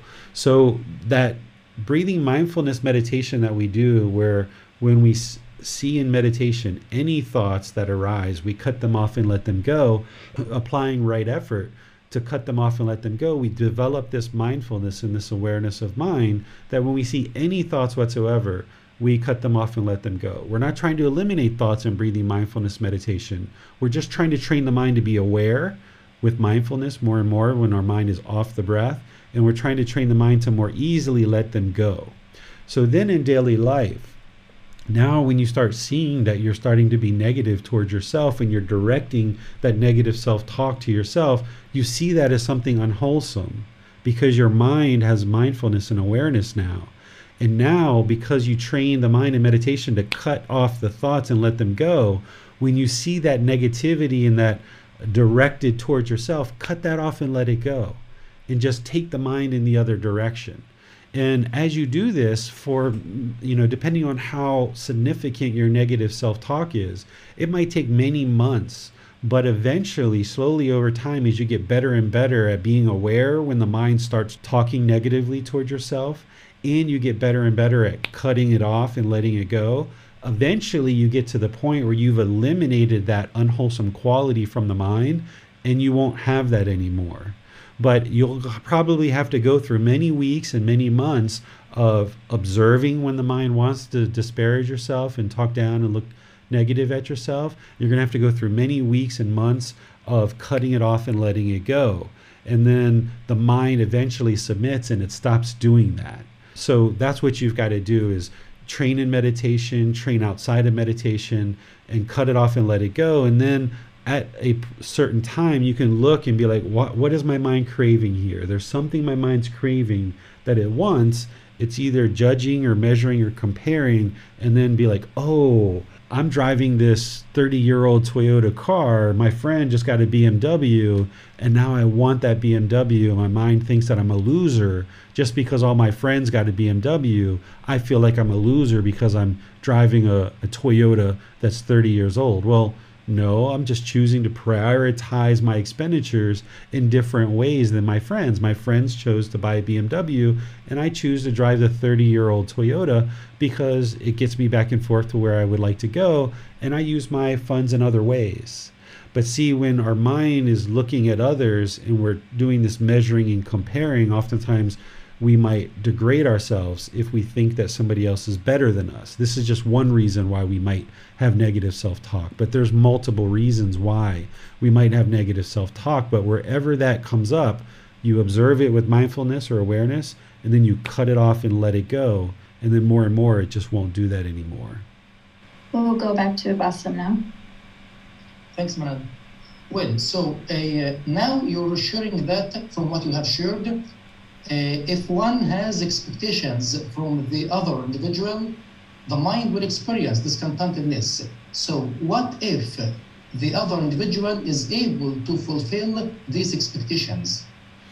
You shouldn't ever put the expectations on others because if they fulfill the expectations, you're going to get these pleasant feelings and you're going to really revel in that and you're going to expect that and you're going to want that and you're going to do that more and more and more. If you're putting expectations on others and they fulfill them, wow, I got those pleasant feelings. Let me put some more expectations on them. And then, wow, I got those pleasant feelings. Let me put more and more and more. And this is how we sabotage our relationships. When we first meet, like a, a new boyfriend or girlfriend, like I mentioned, we don't have usually craving, desire, attachments, or wants or expectations. So the, the beginning of the relationship is just so peaceful and so harmonious. And then somewhere along the line, we have this one or two or three expectations and then they meet those. And then ah we add some more and we add some more and we add some more. And next thing you know we got this huge long list of expectations of what we want from this other being. And it becomes so massive that this other being can't fulfill these expectations permanently. It's impossible. And that's where we say ah i don't love them anymore. It's not that you lost your love. It's that you're no longer experiencing pleasant feelings because they're no longer fulfilling your expectations. And now that you're not getting those pleasant feelings from them fulfilling your expectations, you say, I don't love them anymore. Well, there's love in there somewhere, but it wasn't love to begin with. It was craving, desire, attachment, these wants and expectations masquerading as love. You were experiencing these pleasant feelings when they were meeting your expectations. And then those expectations got so enormous that no human being could fulfill those expectations permanently. And now you've just crushed your relationship. You've just sabotaged it. The more and more expectations you've piled on this person. So, wherever you see that you're trying to put expectations on people, you've got to pull the mind back and you've got to restrain it. And you're probably going to have to start changing your language. This is part of what practicing this path to enlightenment is, is because the ways that our mind thinks, we've developed certain speech patterns around the way that our mind thinks. And when we see somebody do something, we react in a certain way, and that's become first nature for us. But now, when you start responding through the Buddhist teachings and you're no longer reacting, and you've changed your thinking patterns, instead of saying, Oh, mom, I want you to do it this way, or husband, why are you doing it that way? I don't like you to do it that way. That's what we used to do in the past. Or son, daughter, stop doing that. I don't want you to do that anymore. Stop, right? Like those are the old ways that we were handling things before we understood things like right view, right intention, right speech, right action, and other things. So now when we start changing our thinking in the way that we're practicing, we might see our son doing something. We say, Son, I have a suggestion for you of how you can do that better uh, let's talk about that. Or would you like to talk about that? Or are you interested in talking about that? Or, wife, husband, I see you're getting ready to remodel our bedroom. Is this something that I can maybe contribute to since we both share this room together? Are we able to talk about this and come up with a joint plan together? Right? You kind of ask questions and you think about ways of creating harmony in the relationship rather than You're going to remodel this bedroom without consulting me? Are you serious? Why would you do that? Right? Like when we start talking harsh and aggressive with our partner like this, using wrong speech, this is where our craving, desire, attachments move to anger, and now we start motivating all these unskillful conduct. So when we eliminate this craving, desire, attachment, knowing that our partner or our children, our parents, our neighbors, our friends, they're not necessarily on this path and they're not functioning in the same way that we're functioning. We have wisdom that is beyond what they understand because they're not on this path. So we take on the extra responsibility of having this higher consciousness and realizing that we need to create the harmony here because they don't necessarily know how to do that. So if they run off and they're trying to fulfill all their craving, desire, attachments, and they're doing things that we feel are going to cause harm, then we have to find ways of talking to them and asking them questions, which means we're going to have to change our thinking patterns and we're going to have to change our speech patterns in the way that we talk to people. Instead of being demanding and controlling and forceful in our speech, we're going to need to be inquisitive and thoughtful and understanding and patient. You know, these are the kind of qualities of mind and speech that we need to start practicing. And this is what's going to create the more harmony in your relationships. And even though people aren't practicing these teachings who are around you, when you are practicing them, they will feel more at ease around you because you're not being demanding, controlling, and forceful. You're being patient and kind and friendly and understanding, and you're asking questions and you're offering suggestions rather than controlling, demanding, and demeaning. Thanks, Steve. No more questions. Okay, so let's talk about love with our parents and caregivers. Oftentimes, when we grow up, we have certain expectations and we have certain wants for our parents and our caregivers. We can grow up in a certain household, and our parents can either be really wise and practicing true love and show us wonderful ways to do things in the world, or we can grow up in households that are quite hostile and quite aggressive and showing us all the wrong ways to do things in the world. In both situations, we are actually learning. We can learn through wisdom and good, wholesome ways of doing things, but also we can learn in situations where people are doing things in very aggressive and harsh ways too and realize that that's not what we would like to do. But we can be left with situations whereas if we put a lot of expectations on our parents or caregivers and they're not fulfilling those expectations, we can have these painful feelings because of our craving, desire, attachments, our wants and expectations. And now we associate those painful feelings with they don't love me. Again, it all comes back to this craving, desire, attachment, these wants and expectations that because our parents and caregivers aren't meeting our expectations, we can often feel like they don't love us and we can feel empty and void inside. And this puts struggle and strain on our relationships. So we need to get to a place with our parents and caregivers that we also love them as they are that we're not trying to control them to be any particular way, that they're making decisions based on whatever wisdom they've acquired in their life. And as part of this wisdom that they've acquired in their life, they're going to make decisions differently than what we would. But if we have an expectation that everyone around us should make decisions exactly the same way that we would, that's the mind craving permanence. We need to understand that our life partners, our children, our parents, our caregivers, they're all going to make decisions differently than we would. That's okay. That's okay. See, we see that as a problem in the unenlightened state. We see the problem of our parents and caregivers making decisions differently than we would. We see it as they're the problem, that they're not making good decisions. Well, it's not necessarily that they're not making good decisions, it's just that they're not making decisions in the same way that we would.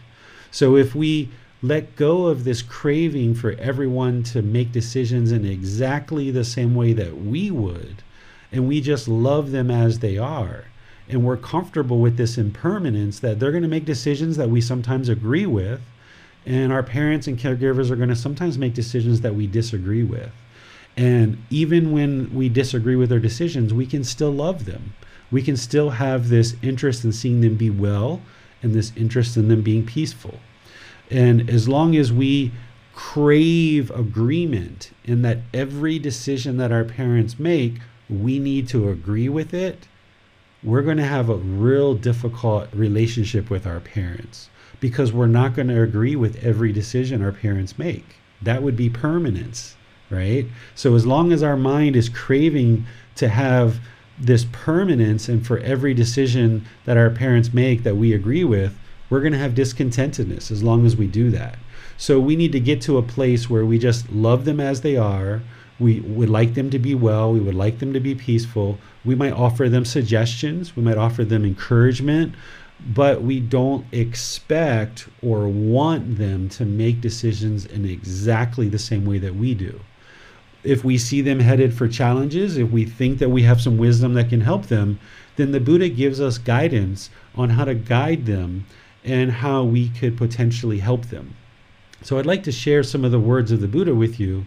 If Bassam, you could move to the next slide, you'll see these words of the Buddha where he talks about essentially parents and how much we should respect them and why we should respect our parents. And then he describes that when our parents are lacking certain aspects of these teachings, how we can help them in order to develop the qualities that would be helpful in this life. So here, this is titled Repaying One's Mother and Father. He says, Monks, there are two persons that cannot easily be repaid. What two? One's mother and father. Even if one should carry about one's mother on one shoulder and one's father on the other, and while doing so, should have a lifespan of a hundred years, live for a hundred years, and if one should attend to them by anointing them with balms, by massaging, bathing, and rubbing their limbs, and they even void their urine and excrement there, one still would not have done enough for one's parents, nor would one have repaid them. Okay, so this first paragraph, what the Buddha is saying is if you lived for a hundred years and you carried your mother on one shoulder and your father on the other shoulder, and you carried them all through life, and you cleaned up their urine and their excrement, and you massaged them with balms, and you bathed them, you rubbed their limbs, you still wouldn't have done enough to repay them. Okay, so let's continue. Even if one were to establish one's parents as the supreme lords and rulers over this great earth, abounding in the seven treasures, one still would not have done enough for one's parents, nor would one have repaid them. So if you established your parents as ruling over the entire world, the Buddha says you still haven't done enough for your parents. For what reason? Why haven't you done enough if you've done all this stuff? This is quite an amazing child if you do all this stuff for them the Buddha says the reason why we haven't done enough is because parents are of great help to their children. They bring them up, feed them, and show them the world. Essentially, what he's talking about there is that our parents are our original teachers. Our parents are the ones who taught us to brush our teeth, taught us how to eat, comb our hair, get dressed, how to urinate, how to defecate, how to do so many things in the world. They were the ones who taught us to walk taught us to speak, right? All these life sustaining activities, all these life sustaining tasks that we now kind of take for granted as adults, it was our original caregivers, our parents, our grandparents, people who adopted us, or all different shapes and forms and fashions of parents and caregivers that we have today. That it was these original caregivers that were our original teachers. And because they worked, because they fed us, they showed us the world, they brought us up, they gave us all these original life sustaining activities. We could not repay them enough for that because now that we have this life in this world and we're able to sustain our life, we have the ability to attain enlightenment and get out of this whole cycle of rebirth. So, all these life sustaining tasks and activities that they taught us, bringing us up, feeding us, and showing us the world, all those things that they did for us allowed us to mature to the point where we are today. And now we're able to benefit from things like learning in these classes and getting to the point where we can actually attain enlightenment. So the Buddha sees it as we essentially have this debt of gratitude and appreciation towards our parents because of them being our original teachers, our original caregivers, who gave us all these life sustaining activities, even the ability to speak, and maybe they helped us read and write and other things like this. So the Buddha talks next in this next paragraph about now that we understand this debt of gratitude and that they were our original caregivers and gave us this life to be able to now potentially attain enlightenment and escape this whole cycle of rebirth. Well, what should we do in order to repay that back to them? Now that we've experienced this benefit of them investing time, effort, energy, and resources for the first 18, 20, 25 years of our life to get us up in this world and operating as a functioning human being, what can we do when we see that they're struggling and they're having difficulties? What can we do to help them in this life now that you're learning these teachings? Now that you're learning how to eliminate discontentedness, you're learning to eliminate the struggles and difficulties in life, you're learning these natural laws of existence, but you see that your parents don't know these teachings and they're going to continually struggle and have discontentedness and experience the cycle of rebirth. What can we do as children to repay them for this debt of gratitude? And that's what this next paragraph the Buddha shares. But monks, if when one's parents lack confidence, one encourages, settles, and establishes them in confidence. What he means by confidence is confidence in the Buddha, the teachings, and the community. So when one's parents misunderstand and don't know about the Buddha, the teachings, and the community, the Buddha suggests that we share this with them. And we need to share with them in humble ways. We can't just barge in and kind of try to force them and put these expectations on them that they should practice these teachings, but we need to find these kind of subtle and humble ways to perhaps see if it's something that they would be interested to learn in order to have this confidence in the Buddha, the teachings, in the community. If when one's parents are unwholesome, one encourages, settles, and establishes them in virtuous behavior or moral conduct so, where we observe that our parents are practicing wrong speech or wrong action or wrong livelihood, that's the moral conduct that the Buddha teaches. What he suggests here is that we encourage, settle, and establish them in practicing moral conduct. I can give you an example from my life. You know, my grandparents were people who were really influential to me and they've taught me tons of wisdom. They grew up and were born in the 1920s. They lived through the Great Depression, they went through World War II. They saw a very different America than what I saw. When they grew up, it was African Americans would go to one water fountain and they would go to another, and they went to one bathroom and African Americans went to another, and they ate in one restaurant and African Americans went in another. They went to school in one place and African Americans went in another. So when I was growing up, I heard certain racist comments from my grandparents. You know, my grandfather went away to World War II and he was killing Asian people in, in Japan as part of being a soldier in World War II. So when I was spending time with Asian people, you know, he had certain racist comments that he would say about Asian people, and I would hear other racist comments. So when I heard these things growing up, I didn't just let it slide. I didn't just, you know, adopt the same type of thinking that they had. Instead, where there was opportunity, when me and my grandfather were alone or me and my grandmother were alone, I would sometimes try to encourage them to not think that way. And I would kind of give them advice here and there in a very humble way. And slowly but surely over time, it actually worked because slowly and gradually over time, I saw this change in the way that they thought about things. And by the time my grandfather passed away, and even now with my grandmother being 99 years old, she's not racist at all. She has grandchildren and people of our family that are of different ethnicities, and she loves everybody equally. But it took a lot of time to gradually help her see that, to settle and establish her in this moral behavior, this moral conduct. But of course, I didn't talk to her about it in that way. I had to find very humble and very uh, loving ways to help my grandmother be able to see that. And the same thing with my grandfather as well. So it's not that you need to break out the books and you need to put these expectations and push and force them to do these things, but just where you see things, you might gradually guide them towards more virtuous behavior or moral conduct. And that's going to help them in their life because now when they start functioning with this better moral conduct, they'll experience better results in their life.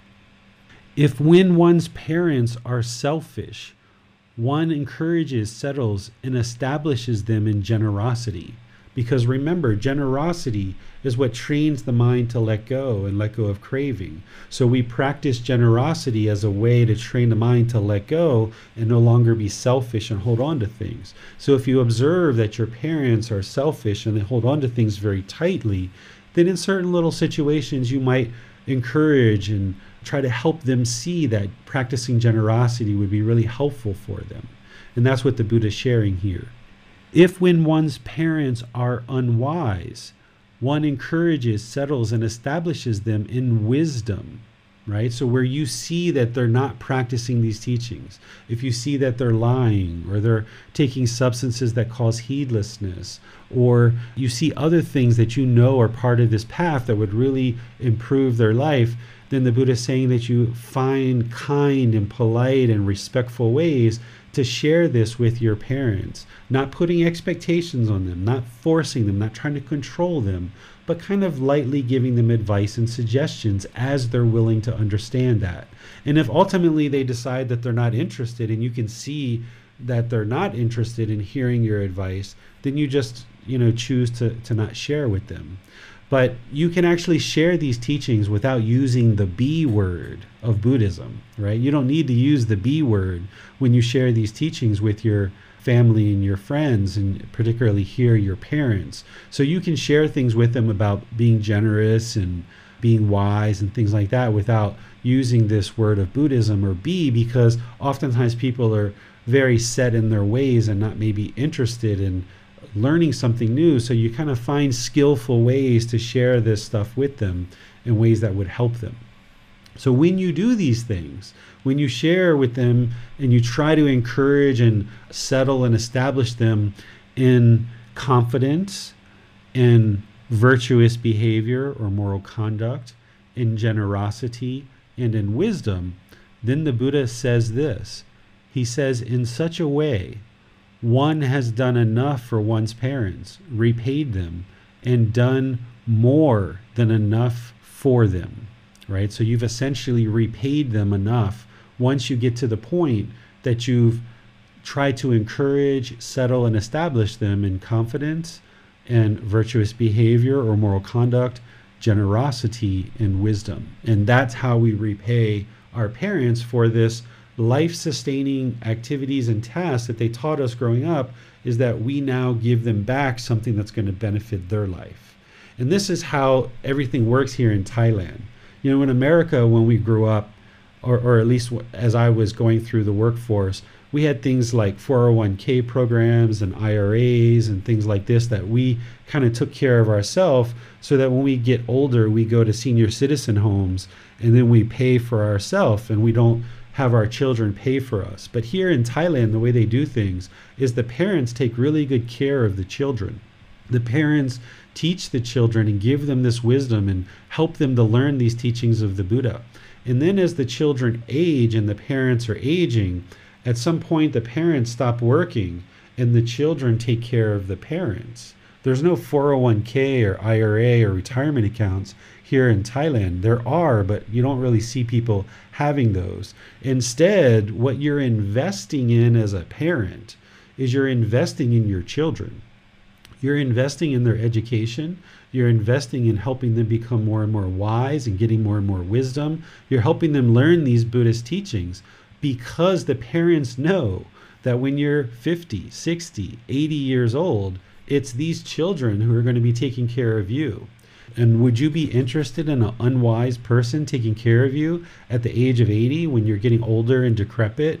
You would like to have your children be wise and be making wholesome decisions. So here in Thailand, what I see is I see parents investing a lot of patience, a lot of time, effort, energy, and resources to teach their children and grow their children because they know that these children are going to be the ones that are taking care of them as they get older.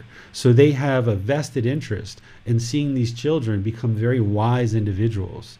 So this is something that we can do as we have children is understand that they're going to be making decisions about our life when we're 70, 80, 90 years old. And it would be wise for us to impart wisdom in our children so that they're making wise decisions for us as we get older.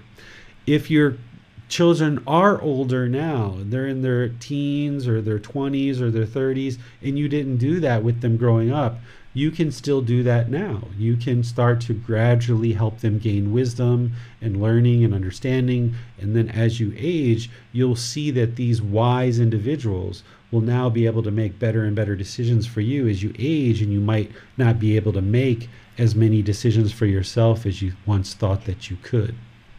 So let me pause here and see what questions you guys have about our parents and caregivers. Well, uh, actually, it's not a question related to this point, but uh, in general, I was wondering about how could the Buddha uh, teach teachings that is beneficial in mostly every aspect in life, in every point, in every struggle in life, we can see that these teachings are very beneficial. Yeah, when you understand the natural law of karma and these natural laws of existence, then you start seeing that really what we are is we're this this living being that has all these relationships in the world. And what we're looking to do is we're looking to have peacefulness and harmony in all these relationships that we have in the world, including the relationship with ourselves, the relationship with our parents, the relationship we have with the environment and the earth, and all these other things. So by understanding that when you cause harm to others, harm is going to come to you, then you start looking at the world in a very different way and you start making decisions in a very different way than you did in the past. So the Buddha knowing that parents and caregivers are such an important asset to our life that this is a very important relationship. You know, out of every single person in our life, it's typically our parents that are there to the very bitter end. You know, no matter what trouble we get into, no matter what difficulties and struggles we have, no matter how sick we get, it's our grandparents and our parents and our aunts and uncles and others who are there for us uh, no matter what. Or our friends and, and coworkers and others might be long gone, but our family is there to care for us. And if we're looking to cultivate healthy relationships that are free of harm, then we should look at all of our relationships, including our parents and caregivers, because whatever we put out is going to come back to us. So if we have these strained relationships with our parents and caregivers, or our children, or our life partners, then that's what's going to come back to us. So by creating more peacefulness and harmony in our relationships, in those times of struggles and difficulties when we need others, they're going to be more than willing to help us. And that's because we've practiced generosity, loving kindness, and wisdom in those relationships. So, because we're not causing harm to others, when we need help, those people are right there for us to help us. So, this beneficial and wholesome conduct is uh, will be good for us and even for others who are around us, right? Yes, there's never a time where you should settle for a strained relationship whether it's in business, whether it's in your personal life, or what have you, your goal should be to have harmonious relationships all throughout your life. But realizing that you can't have permanence, right? There's going to be relationships where the other person perceives you in a certain way and they don't like you and they don't want to be around you. Okay, that's fine. That's their choice. I'm not going to cling and hold on to them. But for you and the way that you practice, you would like to function in a way that's not causing harm to any beings. So therefore, the people who are in your life, you're not causing harm to them, so therefore harm is not coming to you. You should never settle for a strained relationship. Now, if there is a strained relationship that's in your life right now, you will need to, as part of your journey to enlightenment, decide is this a relationship that I can sort out and we can eliminate some of this strain and it's a significant enough relationship that I need to do that and I need to clean up this relationship and get it on better footing? Or is this a relationship that I can walk away from and that that would be a better thing here because the relationship is just too difficult, too strained, and it's not a significant enough relationship for me to invest the time, effort, energy, and resources to resolve. So, as part of decisions that you've made in the past, your old kamma, there's going to be relationships right now in your life that you decide to commit to and that you are committed to that relationship and you would like to clean it up and make it better. And then there's going to be relationships that you decide, okay, the best thing here is just to move on. And that's the best way to function here. And that's a way to clean up your kamma so that now the people that are around you, you're cultivating these healthy and wholesome friendships and relationships so that the people that are around you, you're loving and kind and compassionate with them, and they're loving, kind, and compassionate with you. There shouldn't be any space in your life for aggression and hostility and harshness and arguments and things like this. If you're arguing and you're aggressive and you're hostile, that's what's going to come back to you. And if that's what you've been doing in the past, then you've probably got some of that stuff still around you today. So you're going to need to clean all that up in order to get to this peaceful, calm, serene, and content mind with joy. You're going to have to clean up your own conduct first by improving your wisdom, your moral conduct, and your mental discipline. But then through you cleaning up your conduct, you might see your children and your life partner will also clean up their conduct as well as you guys gradually work towards improved results. But then there's going to be certain relationships that it's just better that you walk away from. And that's the best way to clean up that particular situation and get you to a point where you don't have harsh, hostile, and aggressive relationships in your life. Thanks, sir. No more questions. Okay, so we talked a bit already about life partners, so I don't know that we necessarily need to talk about that other than to share this. I said earlier how you should look for life partners and cultivate relationship with life partners that are practicing these same teachings. And what I mean from that is yes, it would be ideal if your life partners were practicing the Buddhist teachings. That would be absolutely ideal. And you'll see the most harmony in your relationships when everyone in your household is practicing these same teachings. But because you may or may not be in a Buddhist community, that may not be something that you're able to actually experience right now, right? Me living in Thailand and associating with so many Thai people, 96% of Thailand is all Buddhist. So everywhere I go, people are functioning within these same teachings. And my wife and my son, and we're all in agreement. And this is one of the reasons why I consider Thailand to be like heaven on earth. It's so peaceful here because people are just all functioning through these same type of teachings.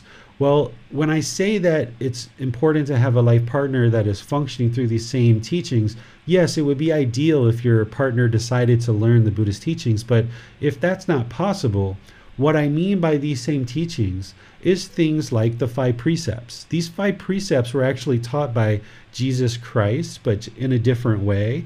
They're taught in Hindu teachings, they're taught in Muslim teachings. I feel I don't know as much about Muslim teachings as I do some of the others, but things like not killing, not stealing, not having sexual misconduct, not lying, not taking substances that cause heedlessness. These are the five precepts that significantly reduce unwholesome results in our life. We know that through the Buddhist teachings. But there's people in your family that might be Hindu and they learned these same exact things through the Hindu teachings. And that's what I mean by having partners that are practicing these same teachings. Or your partner might be Christian and they might be practicing those five precepts in their own ways as the way that Jesus Christ taught them. Or someone in your family might be a Muslim and they might have learned these things through the Muslim teachings. So when I say that it's important to have life partners that are practicing these same teachings, as it relates to true love and love without attachment, you guys need to be on board with that common definition. But in terms of having life partners in general, then it doesn't mean everybody in your life has to be Buddhist and that you should exclude people who aren't Buddhist from your life. But instead, because you understand the five precepts and you understand them in the way that the Buddha taught them, other people understand them in the way that Hindu teachings or Christian teachings or Muslim teachings teach them. And as long as people are practicing those same teachings, even though they might think of them through Hindu, Christian, or Muslim teachings, they will still be practicing those same things that we call the five precepts. They might call them something different, but these same natural laws of existence show up in other teachings, like the five precepts. Now, the Buddha described them in a very clear way, I think clearer than any of the other traditions that I've seen. He explained the Eightfold Path in a very clear way. His teachings lead to enlightenment, where I haven't seen teachings from other teachers that do, but it doesn't mean that they don't exist. It just means that I haven't seen them. You know, there may be Hindus I would consider to be enlightened, but they just discovered it through the path of Hindu teachings. Or there might be Muslims who we might consider to be enlightened, but they just discovered it through Prophet Muhammad's teachings. Or there might be Christians who we would consider to be enlightened, and they would say that person has the Holy Spirit. And they just kind of discovered the path through the words of Jesus Christ but they kind of practice it and describe it in a different way. But it's essentially the same natural laws of existence, just being described in a different way. Professor Gotama Buddha, for me, explained them very, very clearly. But Professor Jesus Christ or Professor Prophet Muhammad or the people who share the teachings of Hinduism or other traditions, those people might be explaining them in different ways, but it's essentially this path to enlightenment that we call the path to enlightenment in the natural laws of existence. So you might come in contact with people who have learned similar teachings through different traditions. And it doesn't mean that if they're not Buddhist, they're not going to make a good life partner. It just means that as you learn these Buddhist teachings and you look out at the world and you look to have a certain life partner, you should be looking for things along the lines that you're learning because you understand that if somebody is causing harm in the world, harm is going to come to them, which means if they're your life partner, harm's going to come to you too, potentially. So you would like to choose a life partner that are practicing good, wholesome teachings.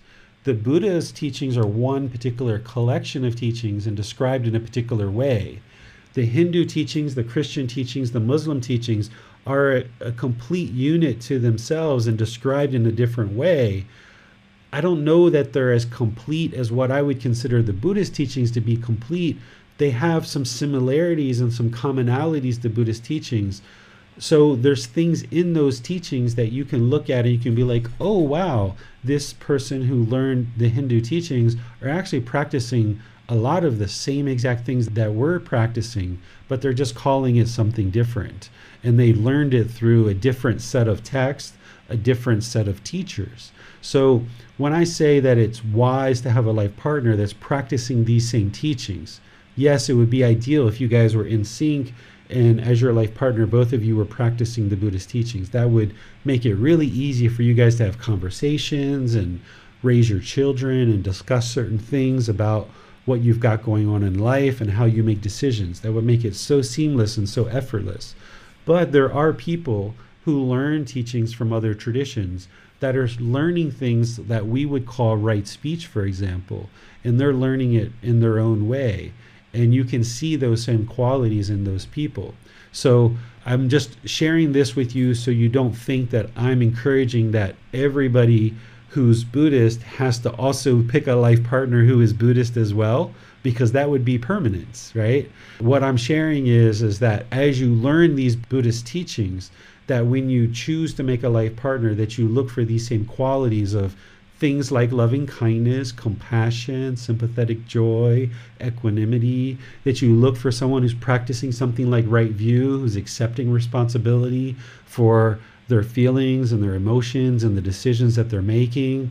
Look for someone who's practicing something like right intention, even though they're not calling it that, but they're practicing renunciation, they're practicing harmlessness, they're practicing non ill will. You see them practicing right speech, that even though they might not call it the five factors of well spoken speech, you see them practicing where they're speaking at the right time, what they say is true, they're speaking gentle, they're speaking beneficially, they're speaking with a mind of loving kindness. you know, so forth and so on, all the way through this Eightfold Path, that we understand it through the Eightfold Path, but they might be understanding it in a different way. So be aware that there are people out there that are practicing teachings from other traditions that we might look at them and say, wow, you're actually practicing the Buddhist teachings. I just had food at an Indian restaurant on Thursday with a student here in Chiang Mai, and our waiter was just so polite and so kind and so friendly. I had a feeling that he was Hindu, but when I was looking at him, he was practicing the five factors of well spoken speech to perfection. So I asked him, I said, are, are you practicing Hindu or are you Buddhist? He said, Actually, I'm a Hindu by birth and I, and I do practice many of the Hindu teachings, but I also really have a lot of respect for Gotama Buddha and I learn his teachings too and kind of practice his teachings as well. But this person considers themselves a Hindu, but when you look at them, it's like, wow, this person's practicing the Buddhist teachings um, because he taught the natural laws of existence. And these different traditions are all kind of tapping into those same natural laws. So you'll see Hindus, Christians, Muslims, Jainism, Judaism, and other traditions that are practicing some of these same things. Now, I don't know that any of those traditions are guiding people to eliminate discontentedness and training the mind in the way that we are, but at least on a surface level, you'll see a lot of the same qualities of mind like generosity, loving kindness, compassion, sympathetic joy, equanimity, having wholesome speech, having wholesome bodily actions, and things like this as part of these other traditions. So keep that in mind as you progress in life and as you make friends and as you have life partners that not everyone's going to be Buddhist that you associate with, and they don't need to be. It would be ideal if the entire world was Buddhist because we would all be thinking in the same way and we would all have this similar way of practice. But that's not where we are in the world right now, and that there are these other traditions that are teaching a lot of these same teachings, and we can admire, respect, and have gratitude and appreciation for these people that are learning all the same teachings or perhaps some of the same teachings that we're learning, but they're just learning from a different perspective and a different tradition. So let me pause here and see if you guys have any remaining questions before we wrap up today's class. Seems that there are no more questions, All right. Well, I will just end class by thanking you guys for learning today, for thanking you for taking the time, effort, energy, and resources to, to learn. Thank you all for your dedication and diligence. And I'll let you guys know that I, I love every single one of you. I have a genuine interest in seeing you all be well and seeing you all be peaceful. And I have no wants, I have no expectations from you whatsoever. I just am genuinely interested in seeing all of you be well. And this is the reason why I share these teachings with you in the way that I do, because I love you and I love your families. I love your children. I love all your friends, all your coworkers. I love everyone in the world. And my only interest is to share teachings with those people who choose to learn. I love you just as you are. There's nothing that I want from you. There's nothing that I'm attempting to put expectations or force you to be one way or another. I'm here sharing these teachings, and as you choose to learn them, I'm here to provide you support, encouragement, and help you to grow in these teachings, loving you just as you are. So I would just like to share that with you. Next week in our Sunday class is going to be chapter 16. Here we're going to be talking about dissolving the ego. The ego serves no purpose. Here you're going to learn about the universal truth of non self in more detail because remember when I talked about it in chapter 4, I mentioned that I was just giving you an introduction to it and then we would be talking about it in more detail as we got into chapter 16. So we're going to be talking about this universal truth of non self in a lot of detail as it relates to the ego. And we're also going to be talking about conceits or arrogance and pride, helping you to understand the problems and complications that exist in the unenlightened mind when there is a personal existence view, when there is this misperception of a permanent self in the mind, this causes the mind to struggle and have difficulties. When we have arrogance and pride, this conceit, it causes the mind to have difficulties and struggle and put strain on our relationships. So, by dissolving the ego, because it serves no purpose, we can then reside more peaceful, calm, serene, content with joy. As long as there's ego in the mind, then the mind can experience enlightenment. So that's why this shows up is chapter 16 because we need to dissolve it to get to enlightenment and you would have needed to have a bunch of teachings under your belt before we actually start talking about dissolving the ego. This Wednesday, we're going to be doing breathing mindfulness meditation in our Wednesday meditation class. So you're invited and welcome to attend that. And I'll see you either Wednesday or Sunday. And in the meantime, just remember to continue to treat everyone polite, kind, friendly, and respectful. Don't put your expectations, don't have wants and cravings of others to be a certain way. Instead, just have a genuine interest in seeing others be well and peaceful. Then you can love everyone in the world. So until next time, I'll see you then. Sawadee Thank you for listening to this podcast. To provide support for this podcast, visit patreon.com forward slash support Buddha. To access more teachings, visit buddhadailywisdom.com. There, you will discover a full range of courses, retreats, and online resources to assist you on the path to enlightenment. Remember to establish a daily, consistent meditation practice, along with learning and practicing these teachings. A well developed meditation practice is the foundation in which to train the mind to attain enlightenment.